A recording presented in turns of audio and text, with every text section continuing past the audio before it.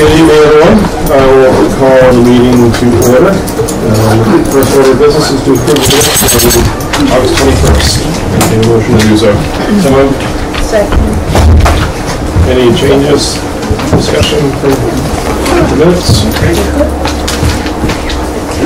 Hearing none, all those in favor? Unanimous.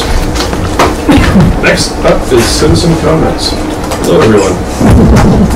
Are there any of time?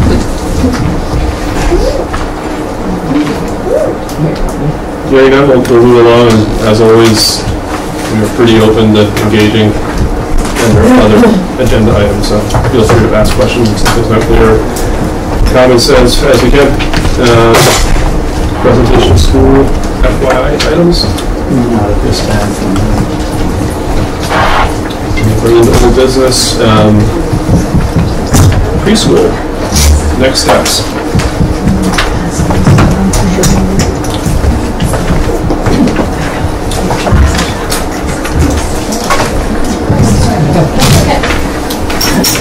Hello, everybody.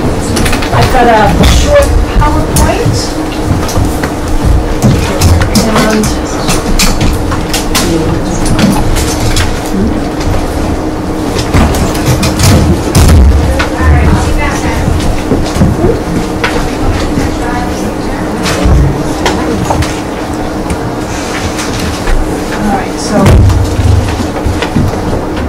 I started, um, as you, those of you who've been coming on a regular basis know that we've been discussing the idea of preschool, public preschool for a little bit now. And so um, I prepared a slideshow, review the history, and take a look at some of the budget options. Um, Unfortunately, the church still has not had their meeting, so they have not voted definitely one way or another. However, they have given me the numbers and the budget information, so that's still pending their final vote. So when we get to the numbers, I'll, I'll tell you more about that. You know the data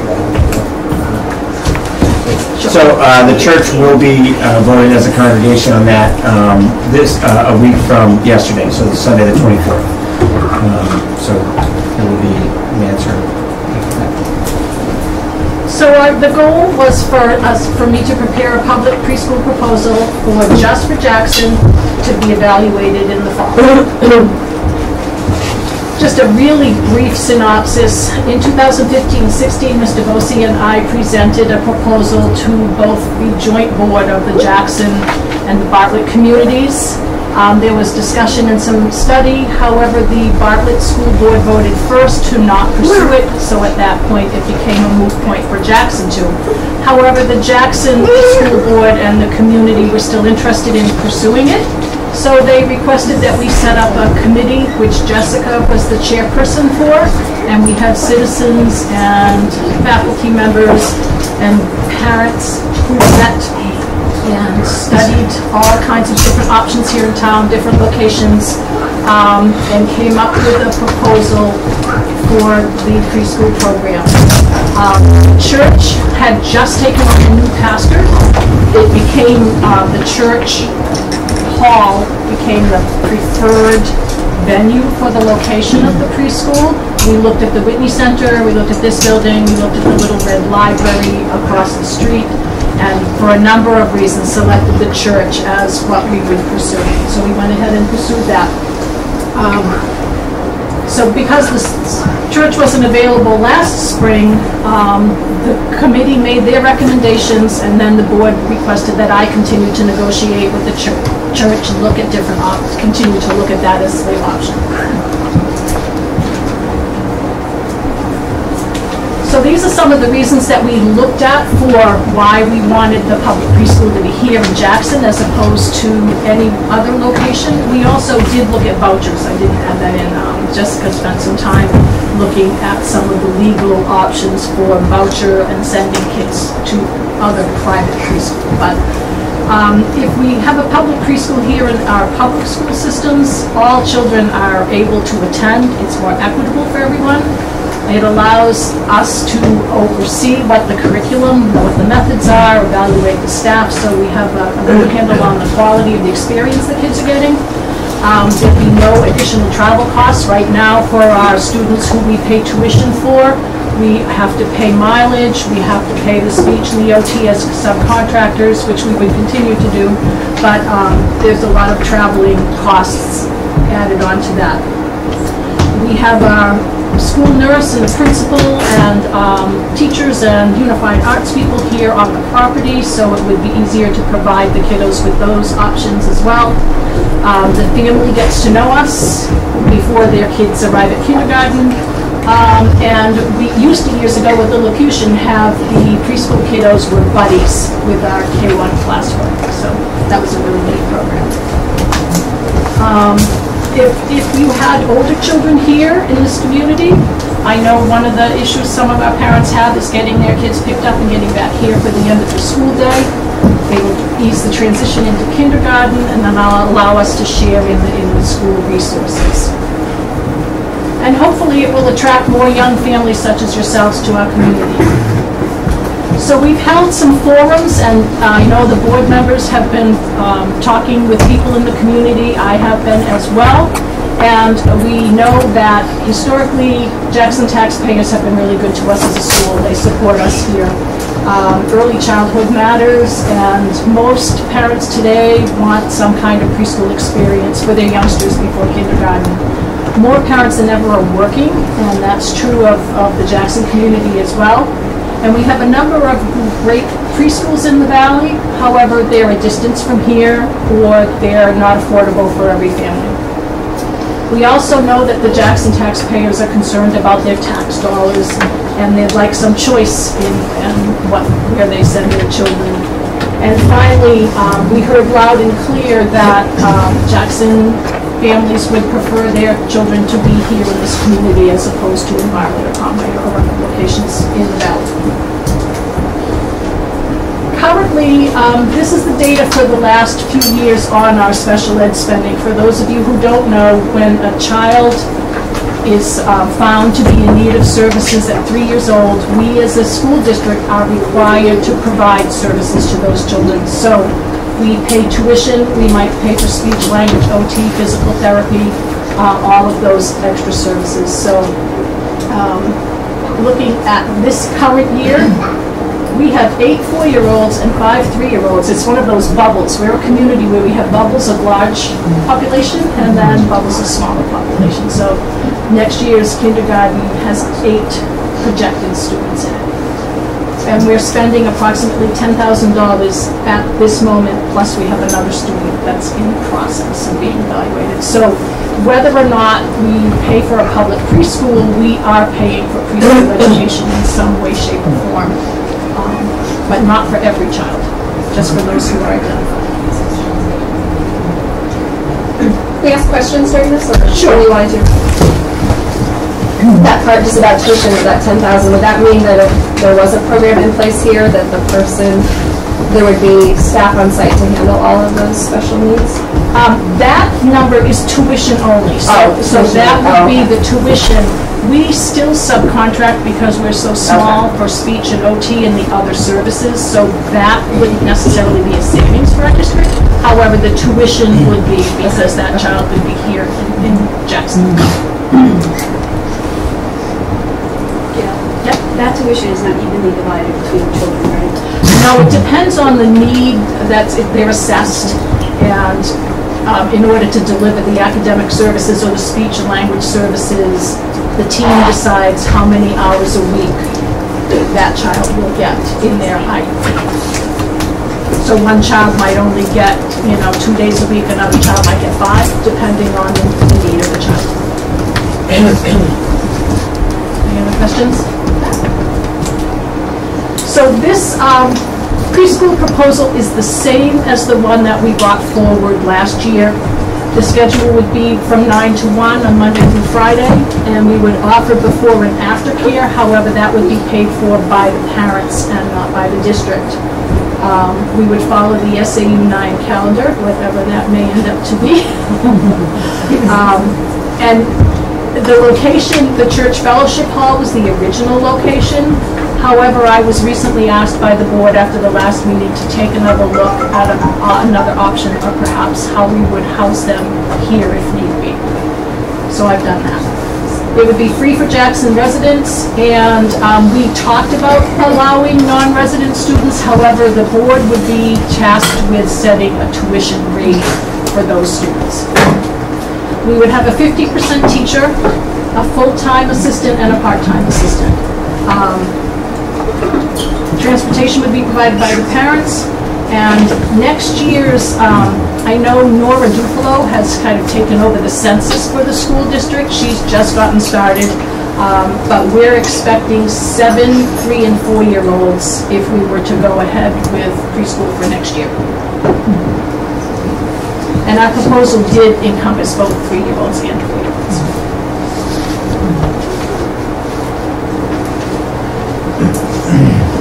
So uh, last year, we um, made a guess about how many students would attend the before and after care. I chose not to do that at this time, just because there's no way of really knowing, and that's going to be at the cost of the families, not necessarily included in the town tax budget.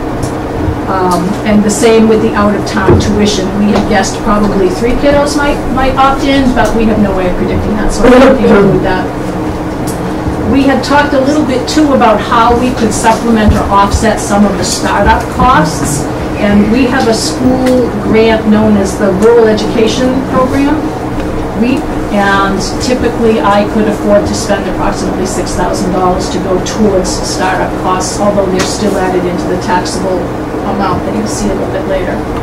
And then we have other options that we can seek.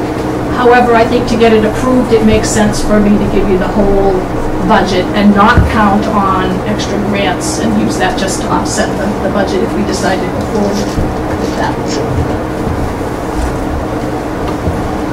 So basically, here are the numbers. Um, The first 2017-18 was the budget that was developed for the church site for this year. Um, The 2018 amount, because in negotiations with the church, we found that we'd be breaking it up and down more often than we originally thought. John felt that it was important to increase our custodial, there be more custodial costs incurred with that. So um, the staffing would be ninety-seven thousand nine dollars. The rent cost that I've gotten from the church is nine thousand for the year, and we're share the plowing with them, so it would be sixteen fifty. The supplies stay the same, um, the curriculum would stay the same. The insurance is, is yet to be determined. Um, the church has asked to be a rider on our insurance, so we have to still price that, but startup costs and so forth. So the total cost for the church option for next year would be one twenty-six, two hundred and seven thousand dollars. If we were to do it at the school, it would be exactly the same staffing, however, we wouldn't need the custodian because he's cleaning here already, there's no more space to be cleaning, there would be no rent incurred. The other um, supplies and costs would be almost the same. The difference would be in the startup costs. The benefit of the church is they have a playground and a fence. We don't have a fenced playground. Our equipment is for older students, so we would need to look at not only the furniture, preschool-sized furniture, but also outdoor equipment, playground equipment, and so forth, and fencing. And that's at a minimum, because I haven't had um, sufficient time to look at the space needs that we might have, and I'll talk a little bit about that in a bit. Any questions on, on those numbers right now? You know, the, the number for insurance this year, is that confirmed that it wouldn't go up at all, or are you just assuming that it would? I spoke to an agent from our, our provider, he said, um, that it wouldn't go up for us, and, and in order for him to price the church option, he needs to see a copy of the contract, because there's some specific language that he would want us to have or not have. Um, and so until he had all of those, that information, that he couldn't give us any kind of quote for that. So Gail, what's the, so from the 2017, 2018 proposed year at the church, the $345 for insurance, what was that based on? was a different provider, and that's for liability insurance only. It was based on the number of staff that were working.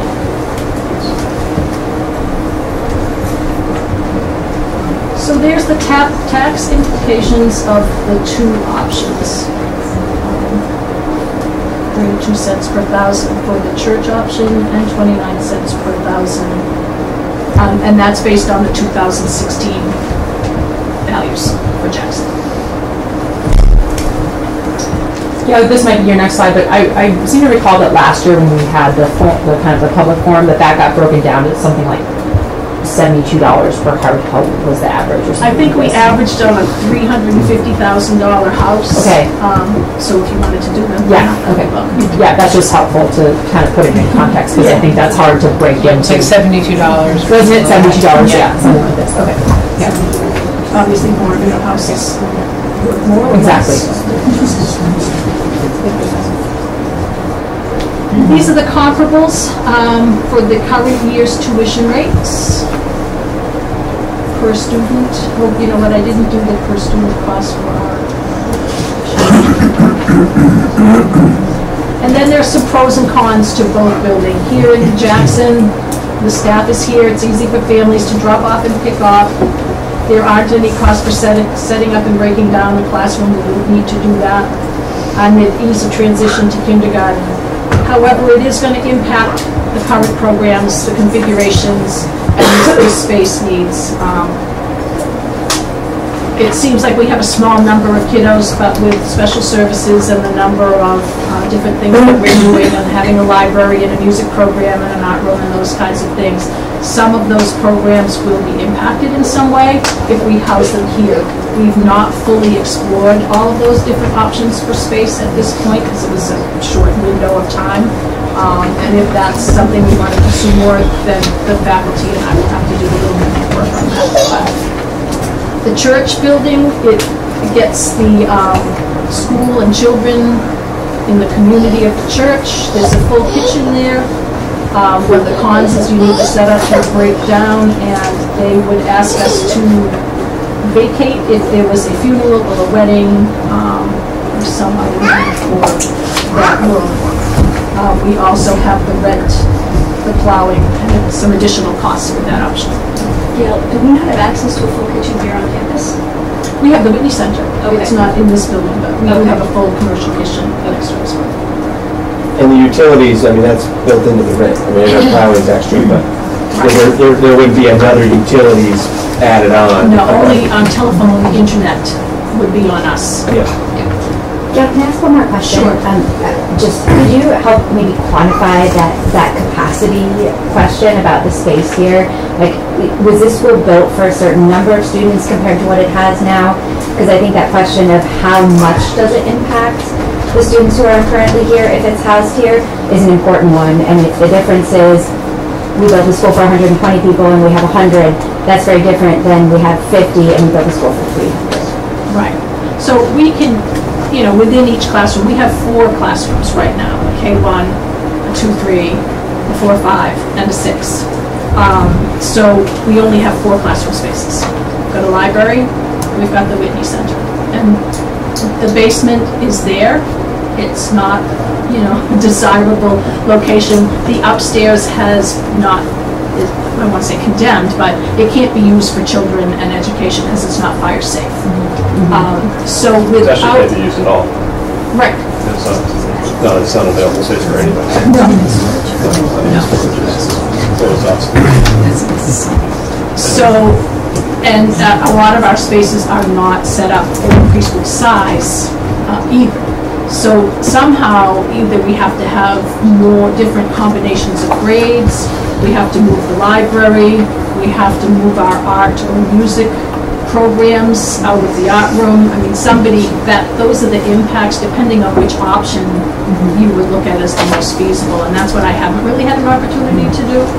Um, But I wanted you to know that it would have some The number of students that we have, like, we're capped out at 75, basically, is what the building is here to hold, but that's 75 K through 6 students.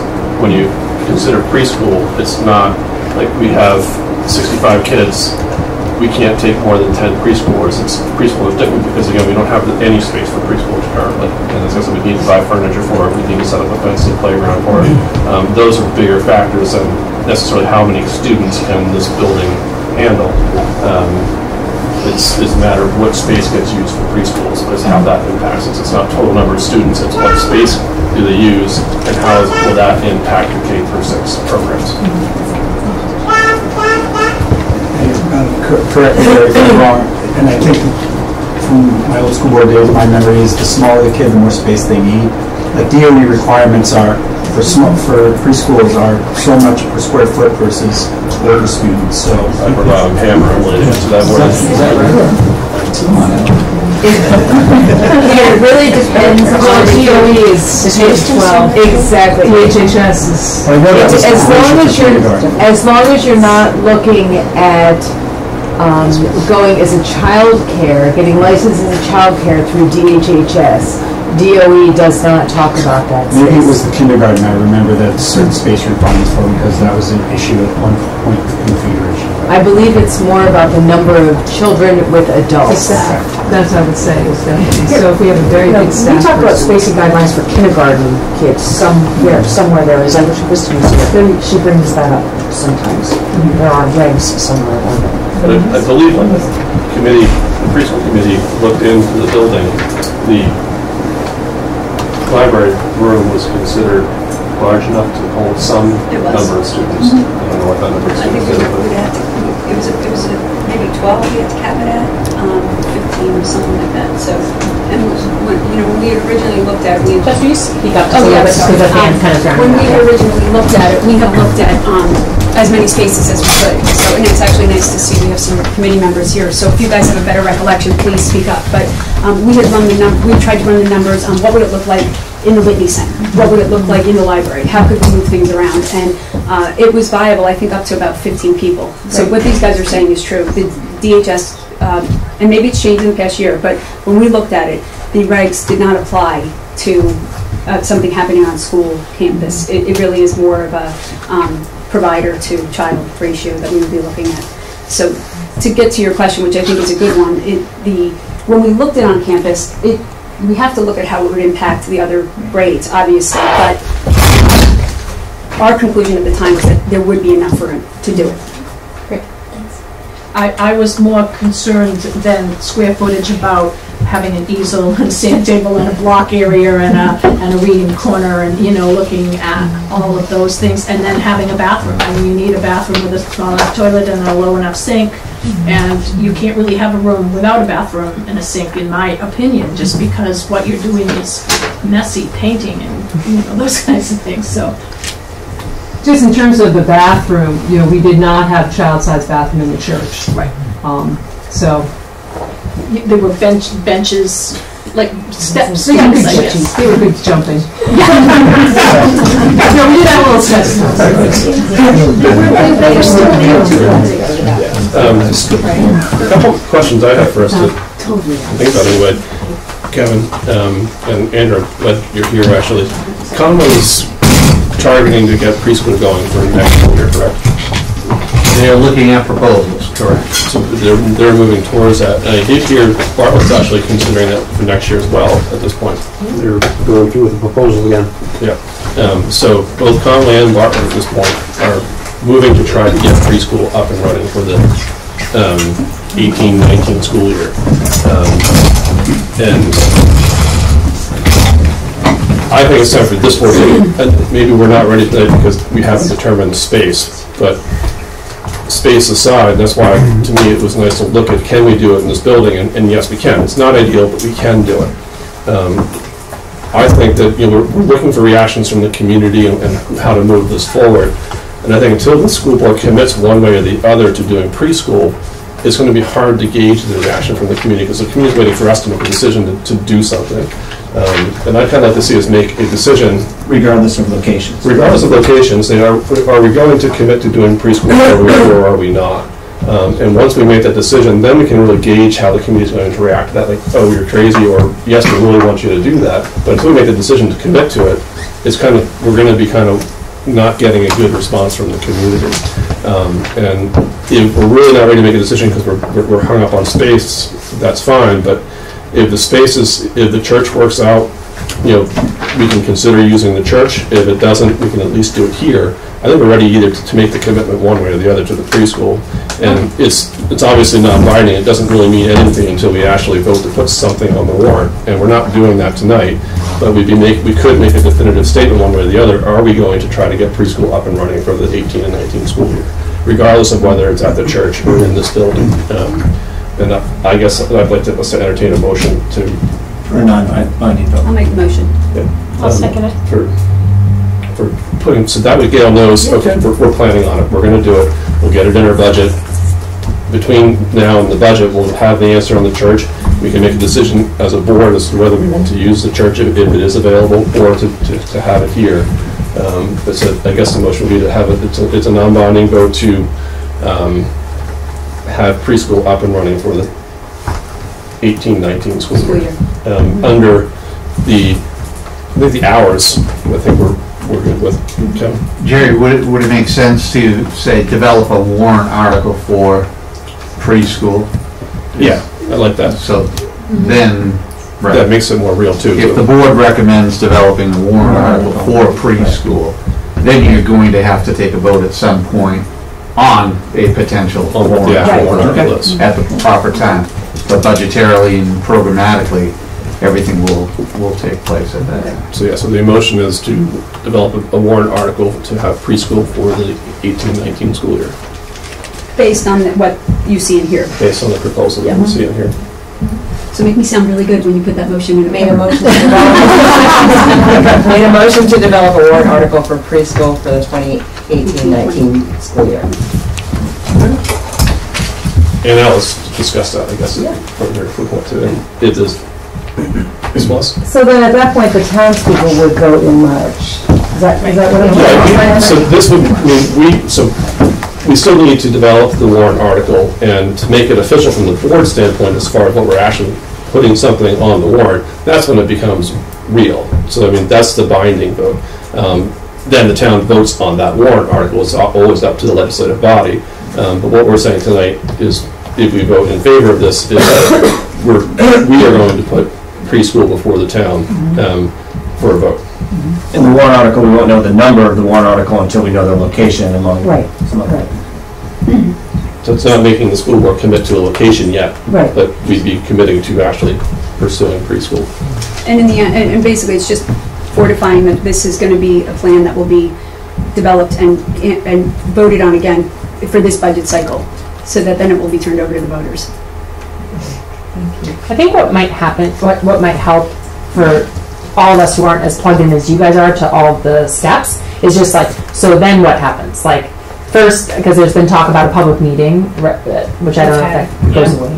You know, and then at this point it gets voted in the budget, and then there's a warrant article which is voted on by March, and then if everything goes well, there's preschool that shows up in September. But that's, I think I'm, I'm, that'd be helpful for me to understand. That's the exact process, you didn't miss anything. Okay, I didn't miss No, but you did. It, it won't go in the budget. Uh-huh. It'll go It'll to be warrant a article. separate article in the warrant. It'll still be in the that town budget, will vote on. but extrapolated it's- out. Right, it's not in your budget number, it's a separate article. Okay. That you vote on separately. And that warrant article vote um, happens in March, and that's, in- like, is that?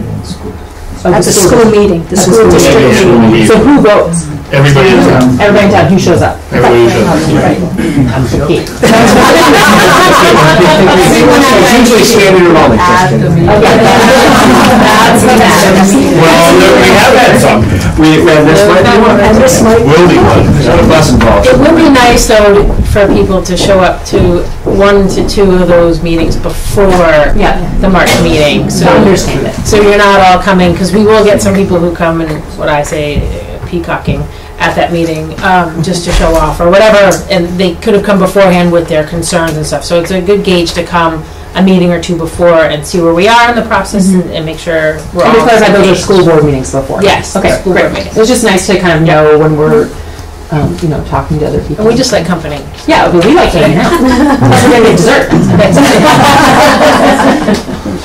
Peter? I, I thank you so much for this. The numbers are really important because whether it's at the, at the church or it's here, it's not, a- it's it's not so much a dollars and cents issue now, it's a, con- it's a concept issue. Three cents difference per thousand is not the, is not going to be a huge driver, it's the concept.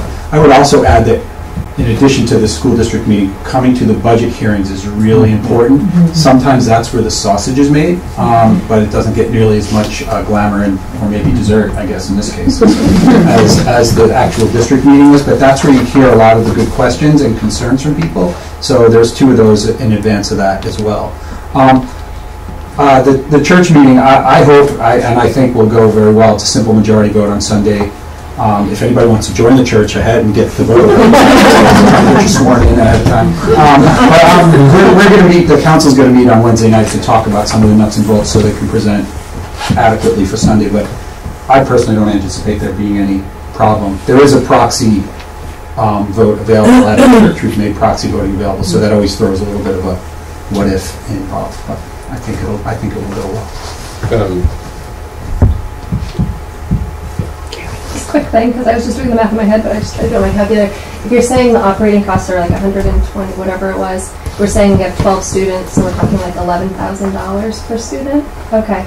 And so then I saw the tuitions, and I know because I pay tuition for my child, but we're saying it's like $5,000 to go to two existing Montessori schools. I guess, I don't know, I mean, I think I'm in favor of preschool or being here and everything, but I guess I'm just wondering from a, uh, you know, from a taxpayer standpoint, where, why not just give everyone a five thousand dollar stipend then to let their children go? And, you know, what's, am I missing something, I guess? well, I don't think we can legally do that. We can't, oh, we Right can't do right now, we can't Okay. legally do that, but it's, it's also, well, we really can't. Well, We would have okay. voted for that already, probably. I know, at some I don't want to, I don't want to complicate the conversation, but I'll tell you, Carrie, that was something that was on our minds at the committee. Yeah. That was something that we heard from the community about, That's what I because it's a figured, valid yeah. concern, right? I mean, we could spend five thousand dollars versus whatever. One, what we ended up coming with, up with as a committee was that we felt that the value that would be given to both the community as well as the children in our town and the families, on balance, it was worth that money. Also, because we couldn't predict how many kids were gonna come. So if it's, you know, and we, we did run through the hypothetical, what if one kid shows up? Hundred and twenty thousand dollars, is that where, so, you know, one of the things that we ha- have to look at and think about is, you know, is there a threshold under which we would not, you know, maybe we say something to Gail about configuration, and say, if you have only one student, is it in their best interest to have one kid in preschool by themselves? So that might be a configuration issue, I don't know if the board necessarily needs to address that at this time, but um, it, it's definitely something that we looked at. Um, as far as vouchers go, there is a bill that was passed by, it, it was, it's called the Croydon Bill, that just got passed, and um, we are not mandated to provide preschool. But in towns that are provide, mandated to provide education, K through 12, if you do not offer that school in your town, it is, it is now legal, and it was legal, but it's in writing, that you can provide um, alternatives. So that is something that was on our table at the time, the committee that worked on it. That was something, despite how mm, perhaps individuals felt, um, it, for the whole package, when you look at everything, because it's very easy to break this down into little pieces, right? And to say, oh, well, this doesn't work because of this, or that doesn't work because of that. When we looked at, the, we stepped back and looked at the whole mosaic, what we thought was, this is the right thing to do, not only because of the value that we place on education and intervention, but there is a value to a community at saying, we value education for our earliest residents. We want to attract people who think that's important.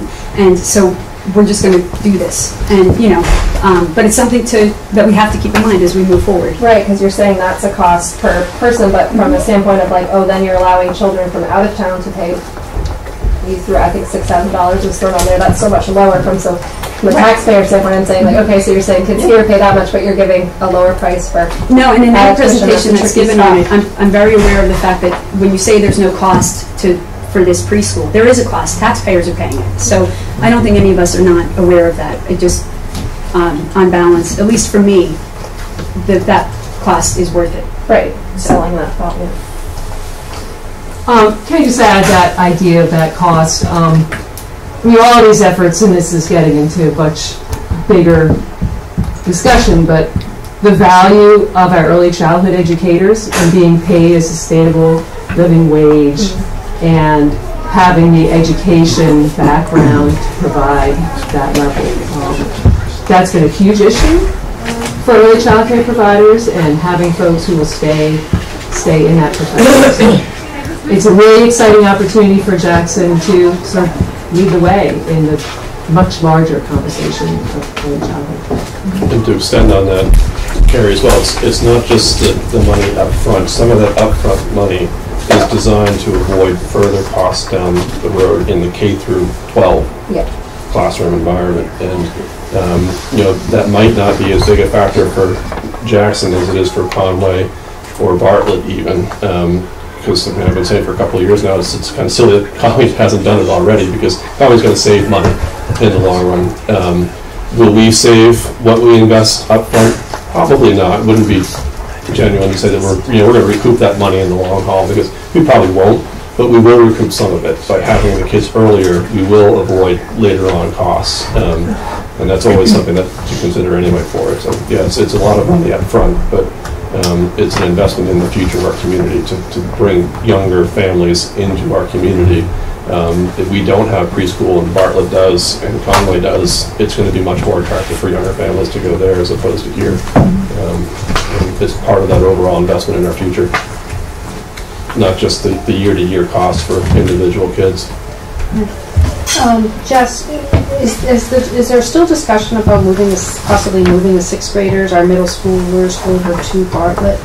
Um, so that they are then part of the middle school when they go into sixth grade, or is that, is, is that conversation ended, has it been broached?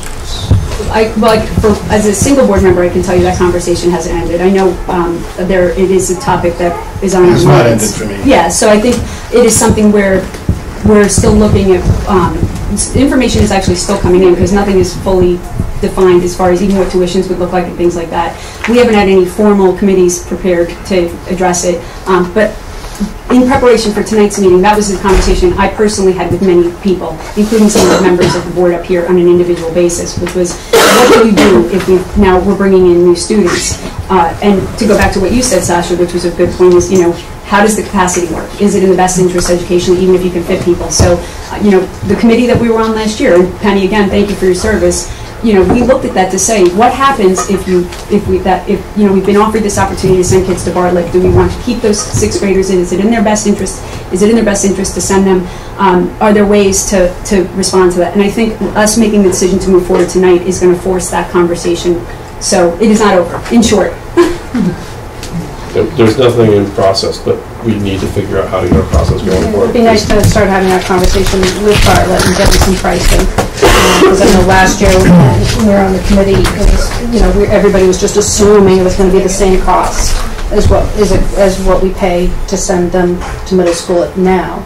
Um, And the school board in Bartlett denied that. They said they don't know what it would cost. So no one's broached that subject yet, it sounds like, in terms of getting a quote from them and, and really starting a serious discussion on the cost of sending our sixth graders over there and allowing them to step up into middle school at the same time the Bartlett middle schoolers are stepping, uh, the Bartlett sixth graders are stepping into middle school. We actually have a meeting with them next month, so I'm sure that's gonna come up. And the, and the church space would be a one-year renewable lease, so that also puts some future flexibility to, to space, like we wouldn't be locked into a long-term contract with the church. So Bartlett is actually in the process, um, Scott isn't here tonight, he usually is here. He said Bartlett is in the process of getting some numbers from the SAU so that they could offer us a price soon. And their board is working towards, as well as our board is working towards finding some financial information out. Right. And I, I hope that we also talk about developmental stages and what's best for the students, more so than, than the cost of it.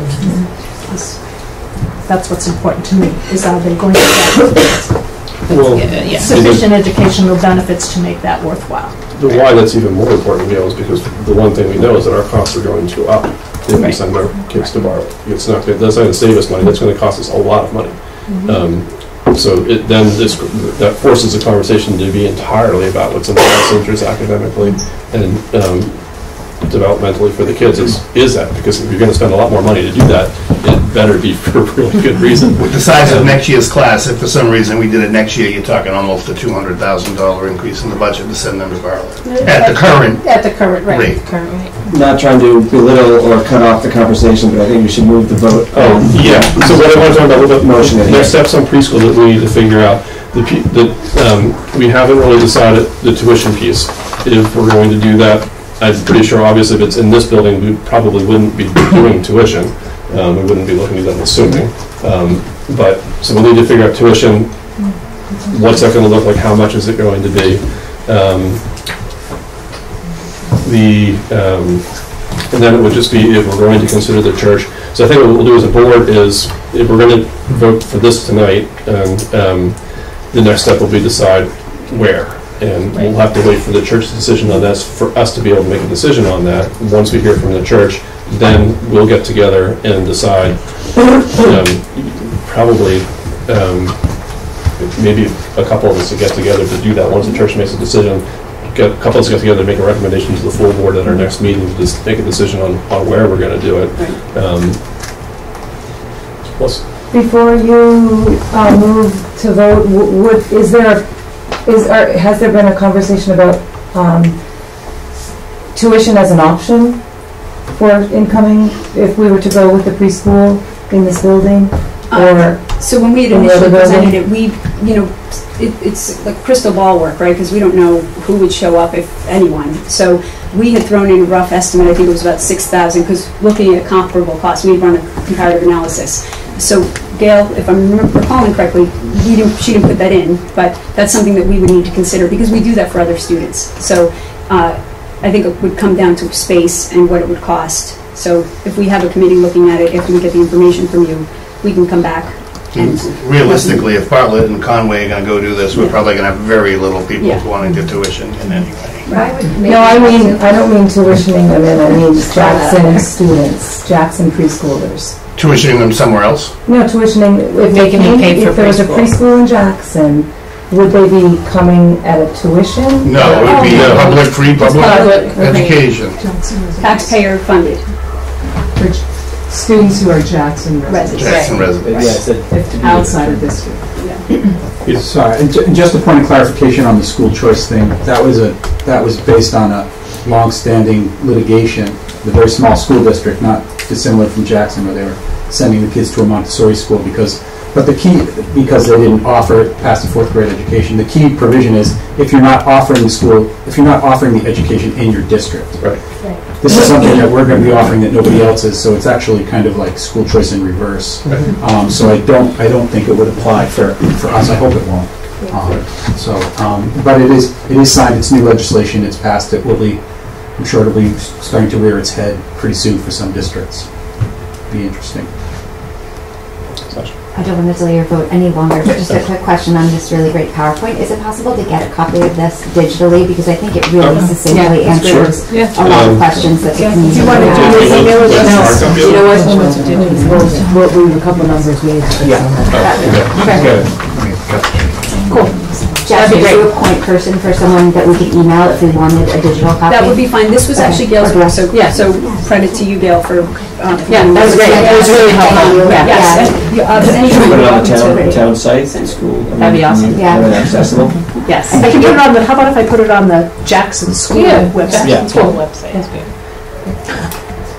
Okay. And just just one last piece on timing, so, I, because I know this is a concern, so we have still a couple more months to get it into the budget and on a warrant article. So if we come back in October, we'll have a lot more information, and we can probably. And do we have the appropriate amount of time to then have the public meeting in a way that works? Like, does that mean public meeting would happen November 1 or something like this? I'm assuming. Well, it depends, I mean, before we were talking about having a public hearing in general, and it's, to me, it was like, why have that before we make a decision to actually do it? exactly. What's, what's the- what are people really gonna come tell us? Um, And, um, that's, was separate than a public hearing for a warrant article in the Got budget. That we have to have by law, Uh-huh. and that'll be in January. Oh, got it. Okay.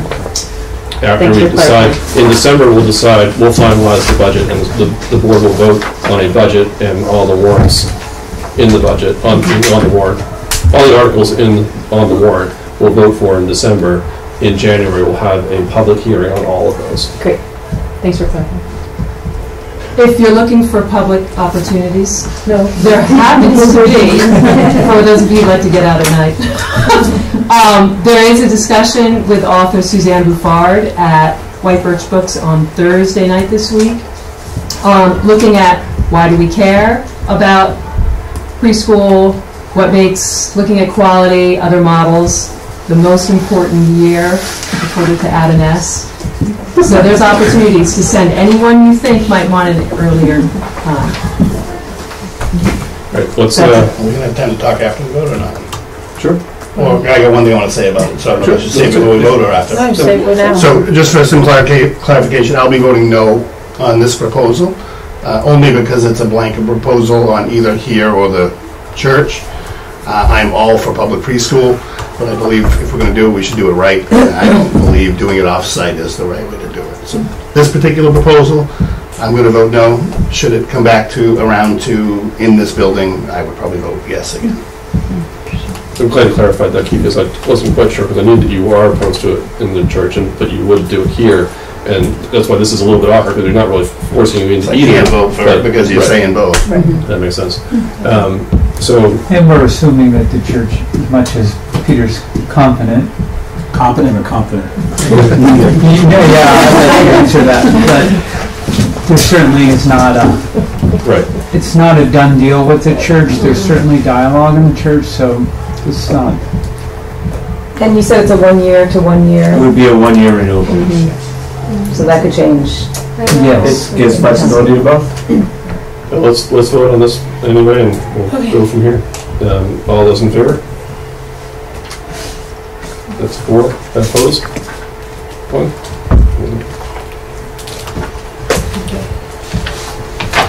Um, Anything else on preschool at the moment? If there's anyone that was here. Yes, it won't be a disturbance if you decide. To ask you something about yourself. That's right. Um, Thanks, everyone. Yeah, thank you everyone for coming out. Tell your friends for the next. All your work, and thanks for the presentation. The presentation was fantastic.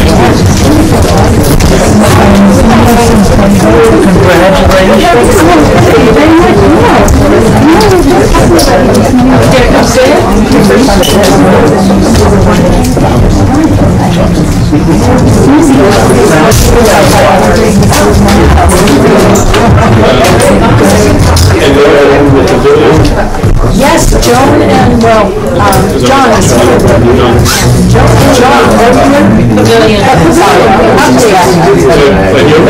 On his way out. I jokingly told Stephanie today that we should consider putting a full foundation underneath the pavilion, as well, we need to actually make it into a building for preschool.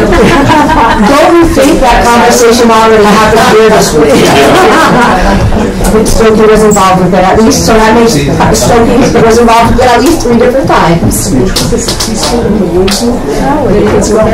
Why not? Waldorf, right? Oh, it's gonna be a Waldorf preschool. Are we going to get an update or not? So, I want to. Update on Wait, oh yeah, you're an update on. You just ran out the- Um, that- what's the school listening post, isn't that? Yeah. That's next. We're That's talking about the pavilion right now. Oh, so, I, I can't, did you, did you share a, um, no, with them, okay. So, um, we have preliminary pictures, um, from the, um, architect and, um, engineer at HEB. Um, Jerry, did you get an email from John, um, Uh, yeah, Yes. at eight from HEB? So, no, just last week, there was an email, um, No, said I didn't check my junk mail later, though, so I might. yeah, so we should, um, there was a bill or an invoice or something that had to do with money, bottom line zero.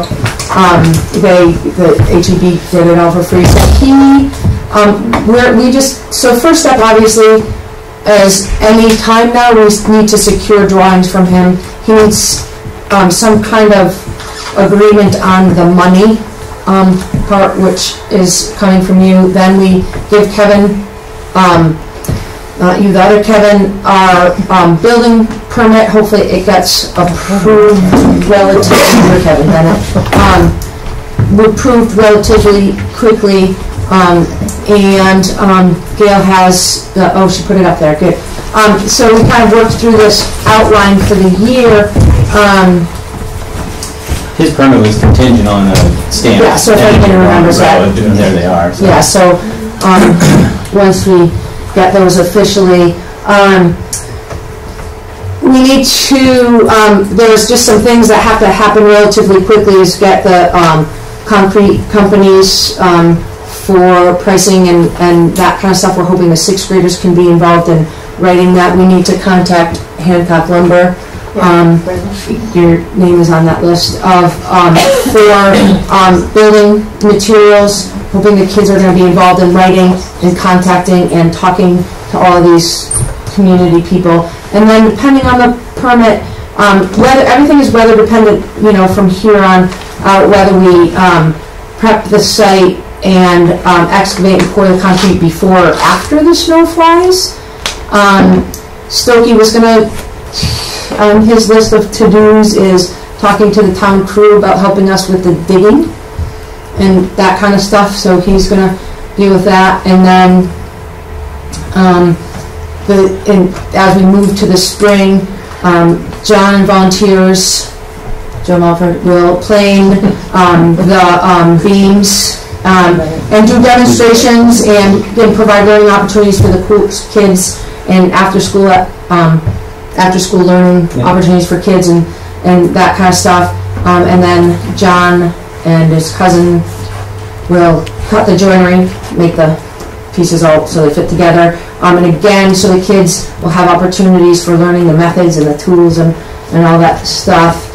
And then, yeah, if you scroll down, by June, um, a raising, um, beginning of June, old-fashioned barn raising, um, and doing the roofing.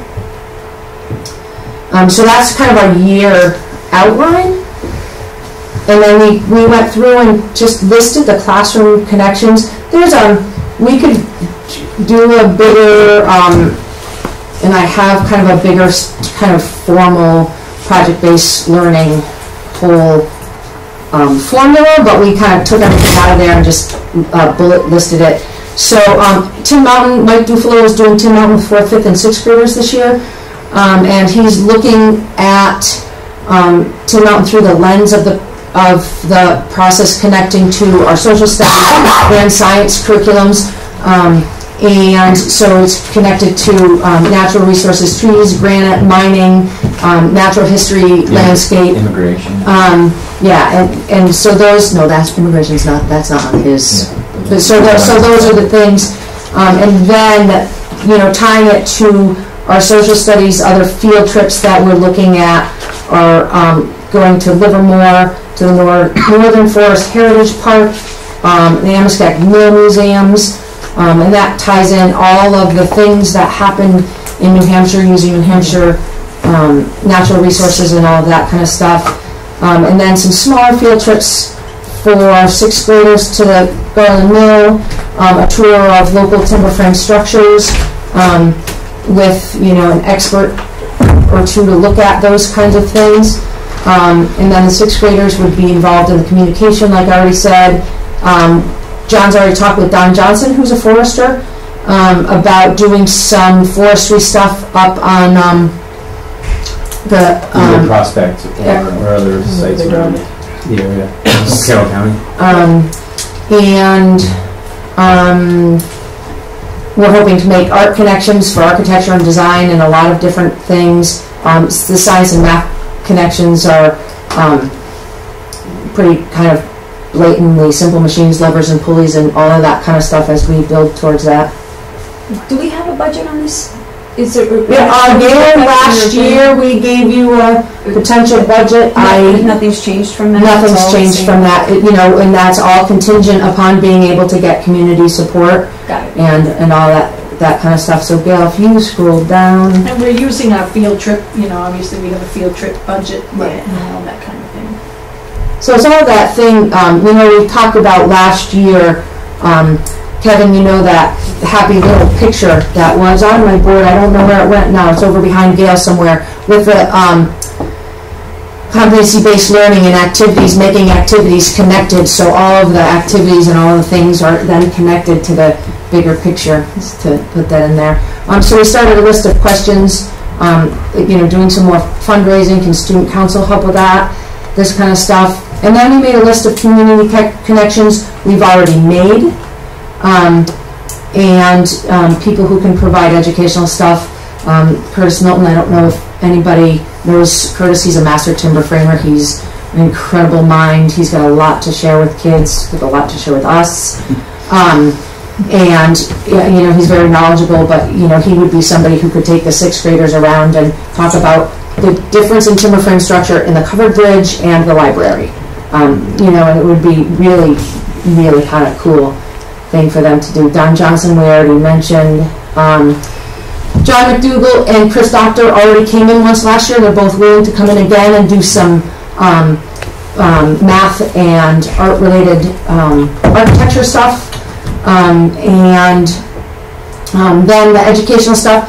I have emailed every single teacher at the tech center, um, at Career Tech, um, that and um, Paul Kale, who does the building trades, we're hoping to be able to get him and his students involved a little bit, make some connections with those guys. Um, um, Joe Riddensdale, who's I didn't, for some reason I must have missed his name.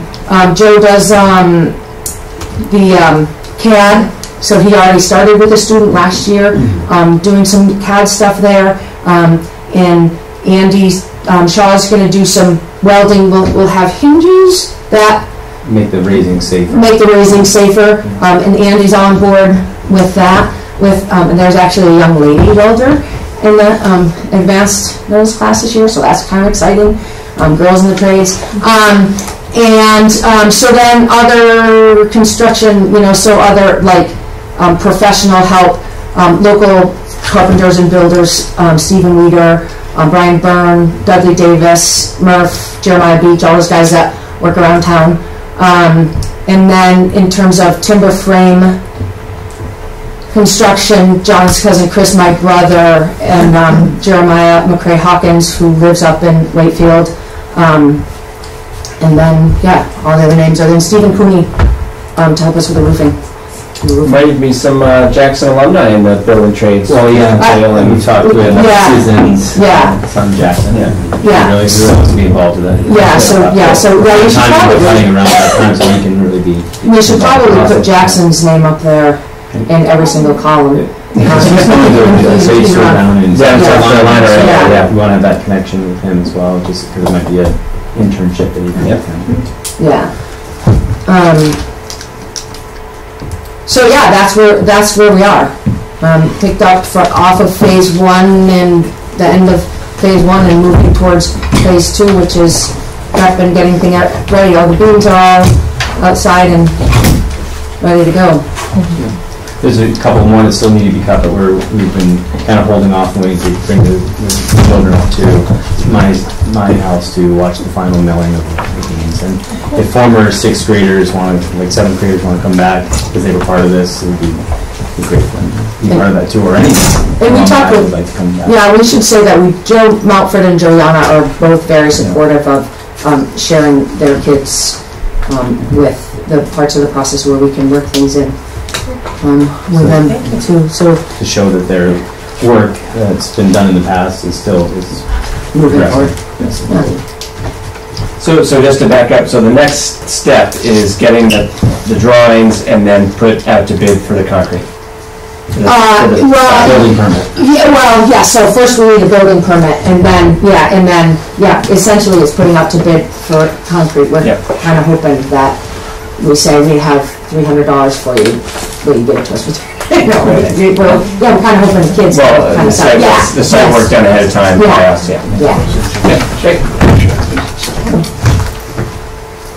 Um, quick question, um, I understood that when the school board accepted this, it was gonna be completely volunteer-based and no budget. Yeah, we have not agreed to pay anything at Nope. this point. Yeah, there's no. Oh, okay, well, you mentioned earlier a budget, so. They, they Oh, have. how much we're, how much we think we will, will spend, but we're- we won't ask this district for any money. Yeah, we won't ask the district. Well, Logistically, we still spend the money, it's just we didn't appropriate it from taxes. It's- Yeah. Oh. We fundraise for any money that we want to spend, Okay, and then somebody up there signs the check. Okay. Yeah. So it gives a zero cost for the engineering designs, but still had to go through the. Yeah, no, that makes Yeah. sense. Thank you. Yeah. Thanks. Thanks. Got something that may interest you foundation wise. Uh, have you seen the insulated concrete forms? Yes, yeah, It may be something that. yeah. Density. Gail, can you put um, Andrew Light on that list? Andrew Light. Oh, no, I don't know anything about foundation. It is something where if it was dug out, your uh, perimeter, you could actually set your footer and essentially they're like Lego blocks, build it yourself. Build it in, And then just have the contractor come literally dump the concrete, and if you're only doing a footer, Yep. it wouldn't be that. We're only doing piers, actually. Yeah, we're we're doing piers, Yeah, yeah. there's a design for the piers right up, right up on the, on the picture up there, so they're just eight points of contact all down. You can make that too, and you Yeah. just all, all rebarred out, so. Andrew, if you have anybody who you think would be a really good um, person who could talk to us and might want to talk to kids about that? This site's been prepped for this lab, if you ever wanted to do it. We're gonna keep keep moving into the rest of our meeting. Um, Thanks, everyone. Um, The listening post, um, this one we're talking about having a middle school, high school listening post. Um, And I think we're talking about trying to schedule that for October. Um, But still, That's that's what we mentioned, yeah. and should we do that before our school board meeting like we did? We already have a double meeting Yeah, at we the have next a meeting. Joint meeting. It's okay. Um, Like before, before. um, Should probably target a different date then. 'cause Right, it's during November. Just do November's? November's? Sure. What date is that? Is that the thirteenth? That actually might be better anyway, because it Gives everybody a good chance to get to the first quarter and Yeah. bring up any new student, Sure. new family and We middle school. board meeting on the twentieth of November. You could do it prior to that if you'd like. five thirty, five o'clock, five Is that the thirty. Monday before Thanksgiving? Yes. It is.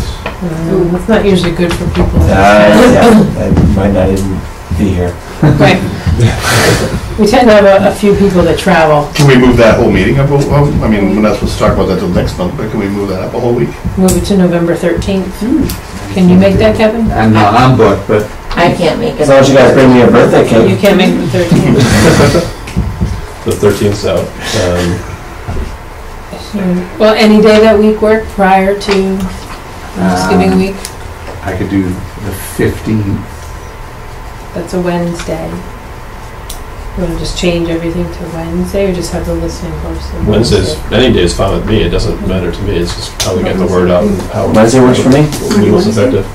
Wednesday seems to work. I always like having it before the school board meeting. I do Should we too. just suck it up and have it that day? Yeah. Yeah, Okay. I'm in on that. Fifteen. I think you have a better chance of getting people here, because there might be some people who are gonna come to the meeting anyway. If Right. it's strictly just a listening post, we might not have anybody show Right. up. I, I agree, I think, yeah. so could we just move them both to the 15th, if that works for everybody? Penny, what do you think? You usually. I, pretty good yeah, at I was gonna ask, what's the listening post, right? Uh, For middle school families and high school families to come give any input on. Okay, those were mine. So, Concerns, questions? well, that's why I was here tonight. So Penny, this actually came out of some of the work that we did last year, where we talked about having these listening posts, talking about the sixth grade, which we did at the end of Yep. last year. And then, um, I think um, Keith rightly mentioned that we also are responsible for the middle schoolers and high schoolers. So let's look at that too. And I think we all kind of looked at it like it was something that we really should touch base on. You know, we all hear. It just gives an opportunity outside of this board meeting to delve a little deeper into something and we're not afraid we're using all this Yeah. time. Yeah. Yeah, Um, great, I can come. You don't have to wait till then. I mean, 'cause- I did have one thing I want to make in public comment or ask. Is that meeting at five or five thirty? What did you? Is this the October meeting? This No, is November. November. We're talking November, I would say the listening. That's my birthday, birthday cake's in But I don't mind, I don't mind hearing it now too, because we might be doing non-public or something, so maybe come back after that. If we could get some time to leave, Absolutely. if you can get this, so Fifteenth at five thirty. I have a lit, November fifteenth, a listing post at five thirty with the topic being high school and middle school. Will follow by a board meeting at six P M. Yep. On the fifteenth. Of November. Of November. And will we do that in here or at the Whitney Center? I think I like here's- in here. In here, great. And you don't need me for the listening post, just for the board meeting, is that correct? Correct. Okay. And Hank, whatever you want to do too, is fine. All right. So the October 16th, 5:30 joint meeting, regular 6 o'clock meeting? Yep. Got it, okay. And then our 11:20 meeting's gone? Correct. Got it, okay, thank you. Um, And Penny, do you have a question or comment you you wanted to make about? Um, I was, one thing I wanted to ask is being a fresh, a parent of a freshman at Kennett, um, and learning the communication from the school, and this is most probably for, um, Keith- um, Mr. Richard Kevin mostly, um, is that I, I'm, I'm figuring my way around Kennett, but it's really slow and it's really painful, and one of the things that is extraordinarily painful is the website. And I was just wondering, is there, you know, what's the Jackson School Board, what's the Bartlett School Board's role in advocating for town parents and in relation to the Conway School Board? I know we don't have anybody who can sit on the school board, but I mean, it- like, you know, the, the website is so horrendous, you can't even, I can't even look up a club to find out if my child's even, might be interested in it, because it doesn't exist on the web, the website. You're talking about the high school? Yeah. website Yeah. Yes. Itself? Yeah, it's, and I can't believe I'd be the first one to bring it up. I mean, everybody I've spoken to has agreed that it's horrendous, and I think, I don't know if people have just suffered through it, or, I, I don't know. Well, part of that Change it every year. I mean, and I think it's something that, it might be the kind of thing people could come and comment towards at the November 15th Yeah. meeting. Um, And, because I tie that right into guidance as well. And it's, um, we talked about last, when we had the staff meeting, um, one of the things we were talking about was to be entertain the idea of having a a mentor or guidance person um, specifically for Jackson students that are in middle school and high school and, you know, beyond. And it can be- that's a big Yeah, deal. well, I know that we do. I was like, we, we were talking about having one specifically for, you know, our own kids Yeah. and having that um, type of thing. It might be something for us to talk about and consider Yeah. anyways, is that because, I mean, I don't, and no matter what you do for a website, it's, it'll never be perfect. No, but it seems like if you put a couple freshmen in charge of it, But what it- pretty good. But I think that's what they, they- what they do is, I think that the, um, the voc tech school puts out the website. Community department. No. In, in, I guess my recommendation would be to let the high school know. They did go through redeveloping about two years ago. They spent, I don't know, God's. a lot of money Yeah. at the high school to develop the website. And I'm sure they would appreciate feedback. As a From- newbie, newbie looking A- at it. Absolutely. So af- And like after the orientation with the kids, um, you know, I came, it was, you know, it's every, all the freshmen walking around and there's clubs, uh, tables, you know, French club and key club. And, uh, you know, I brought my son home. I said, look, let's look up mountain club, mountain biking club. I've heard about that. And, and we said, let's look at all these clubs and see what you might be interested in. And there's no information on them, nothing. So who's the Um, contact person to I- I'd up? call the principal of the school. Okay. Yeah, or the administrative assistant. Yeah, and Kevin's really right about that too, because that type of thing, that actually isn't really a board issue, um, or one that a board would really get involved with necessarily. Um, And when it comes to our students in Bartlett or our students in the Conway High School, um, both principals have always said to us, it's, they're not Jackson kids then, you know, it's, it's, they're part of the school. Yeah. Um, And when you have questions about the school itself, they'll treat you just like they will any other, whether they're a Conway parent, a Bartlett parent, or a Madison parent, it's, it's all the same to them, so. you And I think it'd be a great perspective for an incoming high school parent to say, geez, this was a particular concern for me, was I would have liked to have known about clubs and offerings for our students. And maybe they did, maybe they did do that during orientation, or, I don't know, but if, if you had difficulty finding it, I'm sure they would appreciate that feedback. Yeah. And, and Ed, Neil Moylan will call you back. Absolutely. He, he- he is very good about, he's And maybe got a lot of that's- parents and he really does a good job. Well, this is good, because I haven't really, you know, it's like, who do I go to? And maybe that's a discussion we can have with Bartlett too. You know, maybe we can do a better, uh, with Bartlett, a better job at the end of eighth grade year, but maybe covering a few more of those things Yeah. instead of you having to wait to go to the high school. Maybe they can be handed a list of the clubs and who's in charge and how you contact them. I, I don't know, but you know, maybe those are things that Yeah. can be done too before you get there. Good for the listening post. Yeah. Yeah. Right, this is perfect. Thanks, Penny. Um, Instructional issues, any at this point? None that are under, And John, John, I won't consider it rude if you guys leave. Thanks for Yeah, for. You got like twelve kids at home. Yeah, I know. You wait 15 minutes, it'll be a bed though. thank you. Thank you. Thanks, guys, see you tomorrow. Uh, Was that a no on instructional issues? I'm sorry. No, nothing. Um, Personnel actions, um, When is open or closed? It's kind of. Why don't you leave Doesn't- it leave it open, so nobody out there. Thanks. um, I would uh, entertain a motion to accept the resignation of Gary Allen. All right, motion, Second, with regret? yep. Um, Any discussion? All those in favor? Uh, No, I accept it, I just, um, uh, no, go ahead. It's fine. Uh, Well, we can talk about it, but we won't talk about it much, we should probably go to non-public. Well, I was gonna say, I just, we obviously need to address this, uh, or at least someone is, so I would just want to know that, because we didn't know, so that's all. So non-public is fine, or, or if you have already, if our committee's already looked at it, just, just tell me someone has addressed this issue, and I will feel better. about that. Absolutely. Yeah, Okay. they haven't addressed the issue. Got it. Um, So just the vote. Unanimous. All those, in- all those in favor? That's unanimous, okay, thanks. Um, The, entertain a motion to approve the job description for the elementary school principal position. So, moved. Second. Um, has everyone had a chance to look at this yet? Um, I think Kevin and Gail have discovered in the contract process that the job description hadn't been updated since, what, 1983, I think? 83. 1983. Um, And so a lot of this is, a lot of this is really just, just housekeeping um, to do what we should have done two decades ago, I guess, but at this point, or, well, right, but at least two decades ago. I know, should have- I haven't been here that long. Are there questions, comments, or concerns? No.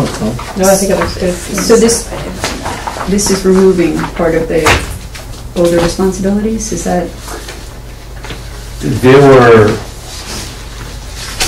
old outdated responsibilities, yes, that were no longer applicable. Right. It also allows for a more dynamic position as we move forward. Um, We did present it to the, uh, you know, the personnel committee, we reviewed it. So it really allows for more flexibility in assignment of those responsibilities. So this would be not a teaching position though, not a teaching principal anymore? That's correct. Okay, so is that something we need to discuss further in a separate meeting? Because the responsibility, okay, Well, Yeah. it would be in terms of Gail's contract, but this really just is a, keeping this, really just isn't about Gail, this is just a job description for a principal position, so. got it, I okay. don't think it I got ties you. into that necessarily, that's gonna be part of. A different discussion. Would think. I got you, Um, okay. Yeah, I got you, okay. but no, that's a good question, because, um, but yes, in terms of that, that's, we were thinking of moving towards just a principal position as opposed to a teaching principal. Okay.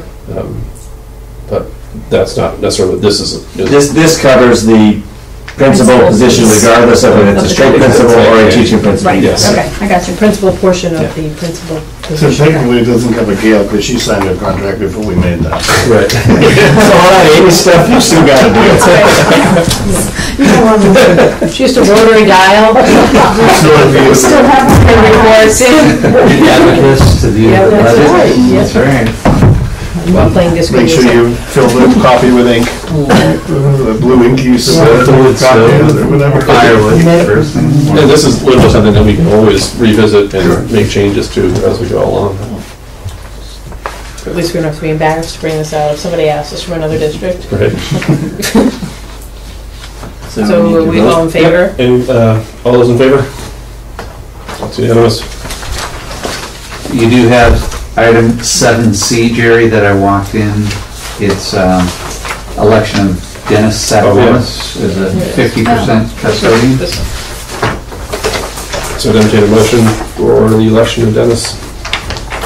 So moved. Sal Villanis as half-time custodian. Second. Discussion, questions? Uh, is- So he still works up there, or he's leaving there to come here? It's a White Mountain Hotel? At The Christmas Farm Inn? No, he's at the White Mountain. um, Does the Sioux Christmas Farm He does a little bit of work there on occasion. Oh, okay. But I understood his main employment is the White Mountain Yes. Hotel at this point. Okay. Yeah.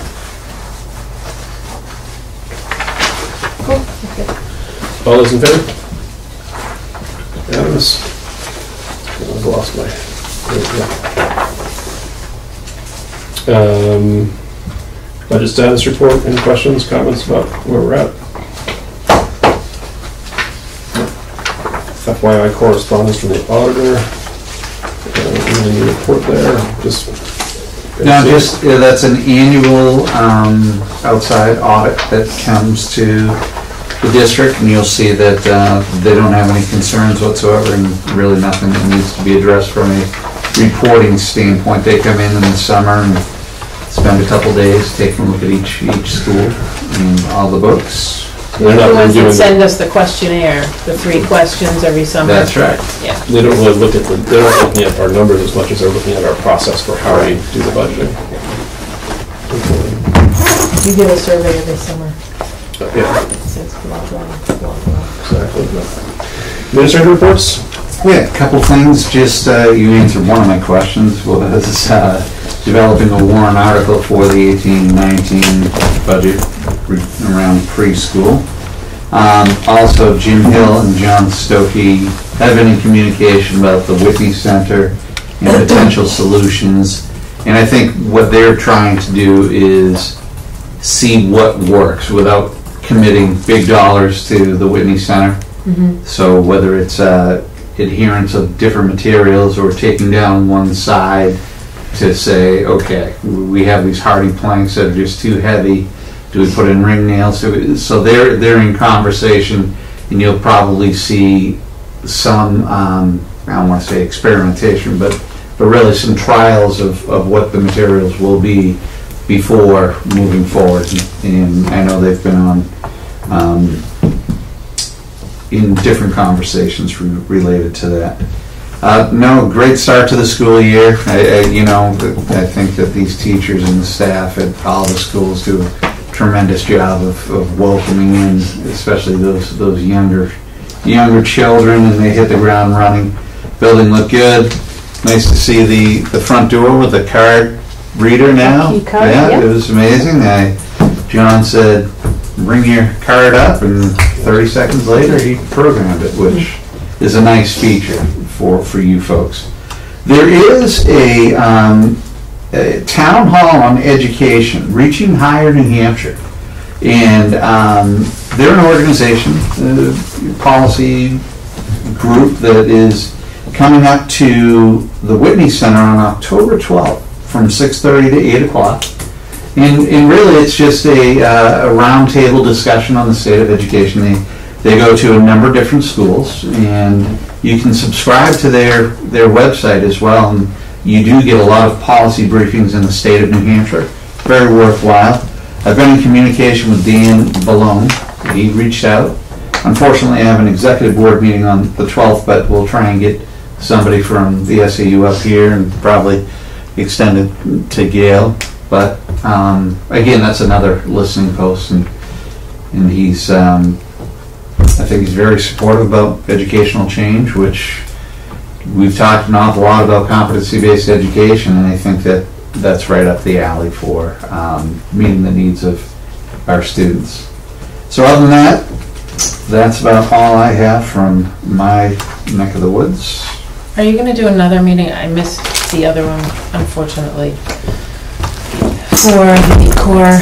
Competency-based Yes. education, yeah, we have um, couple of uh, meetings scheduled. We have one down in Madison because we have a community forum coming up, that's on September 27th.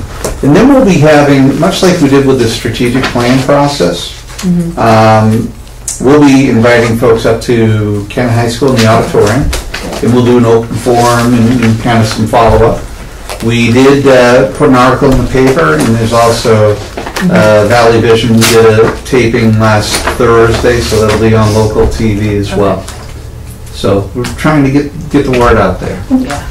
Did anybody, not to be off record, but about the high school, did anybody else see that the TV shows on major networks? I didn't see any advertising, have to be, happened to turn it on when I, knew it was on like two Tuesdays ago. It was on ABC, NBC, CBS, it was on all the major networks at Oh, the yeah. same time, and it was a Super- it was a live. super school project. Yeah. Yeah. That was pretty, that would have been interesting to know beforehand that it was com- like. Oh, yeah. Yeah. It was, it was pretty interesting. I don't know if they're gonna do a follow-up now, because it was just kind of rah-rah. Yeah. And that's, you know, we talked an awful lot about that, and Gail will, will kind of talk about that with the school goals. One of the, the key pieces we want to do is build some sustainability to make it not just an event, but, but really make it, make it last and, and meaningful for people. And, and I think that's what sometimes we'll see in education is these fads and these pieces and, you know, technology was all the rage. Well, you can use technology and you can use it poorly. Um, so we want to make it grounded and rooted in the beliefs and attitudes of, you know, SAU and really personalize the learning. And I think that's, that's number one, meeting students where they're at. But yes, we will be more than happy to send out the invitations and you'll be finding out a whole lot more about it. I just want to make sure. Thank you. And you'll be hearing about it tonight. Uh, Can I just follow up on that real quick? So, uh, you know, one, thank you for bringing Fred Bramante to that meeting because it was great to hear from him.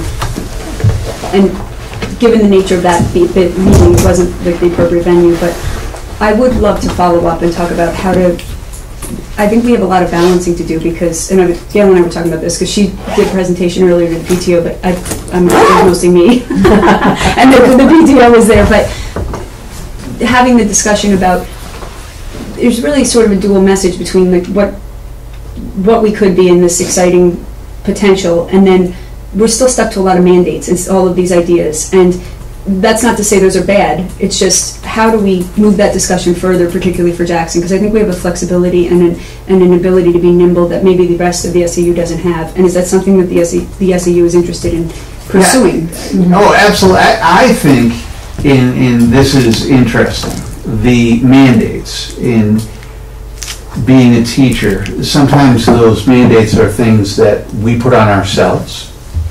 And I think that in conversations with a lot of staff, you know, really, that's what hopefully this does is empowers teachers, who are the most important people in, in the education of these students, to be able to make good decisions for Pam, for Gail, for Jess, whoever it needs to be. In, in really, that to me is the most exciting part. But it's also the most overwhelming part if I were a teacher to be able to say, now I really have to, you know, manage the needs of all these students and cover all this curriculum.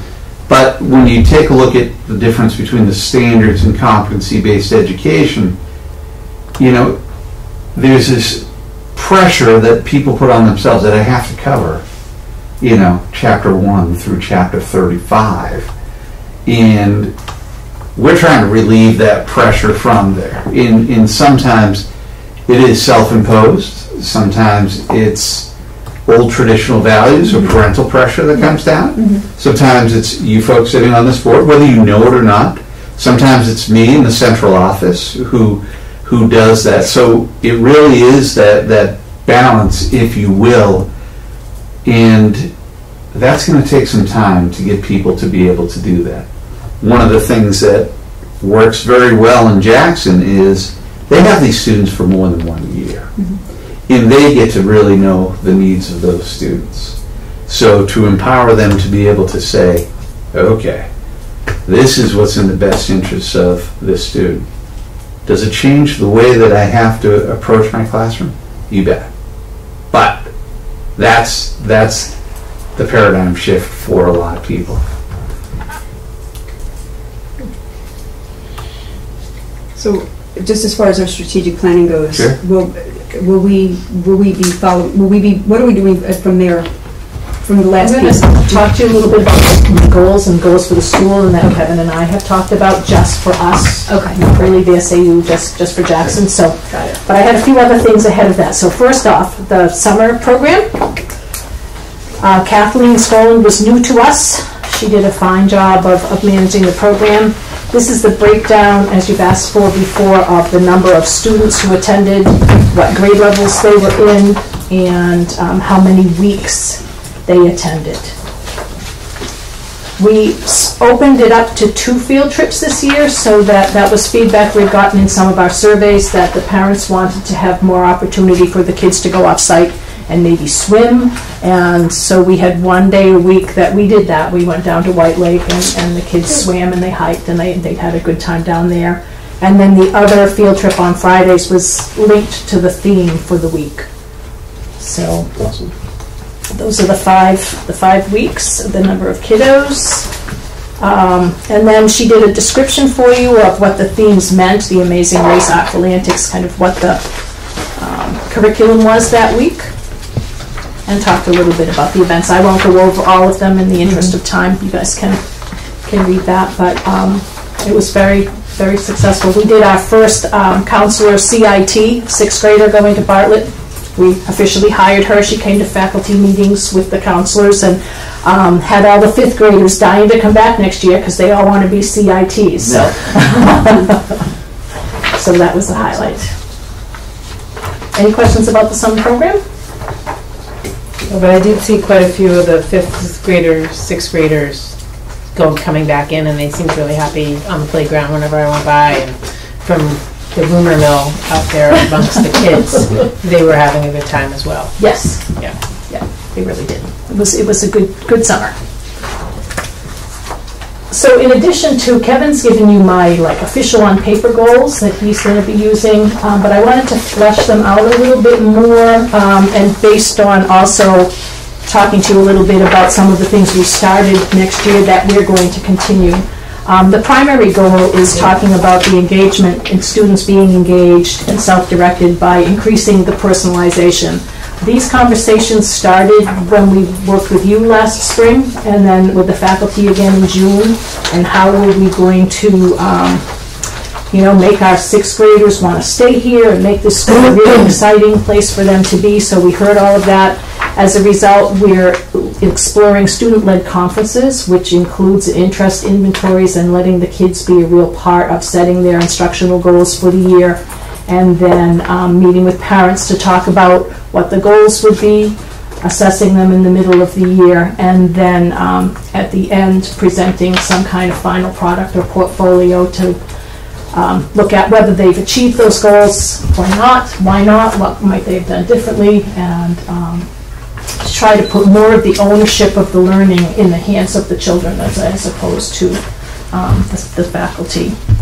Part of that is, was a directory we talked out, and you could see that Joan had already started to do that with the Pavilion project, trying to locate resources within our community, people who could become mentors, people who can come and present, um, just making a stronger connection with the community.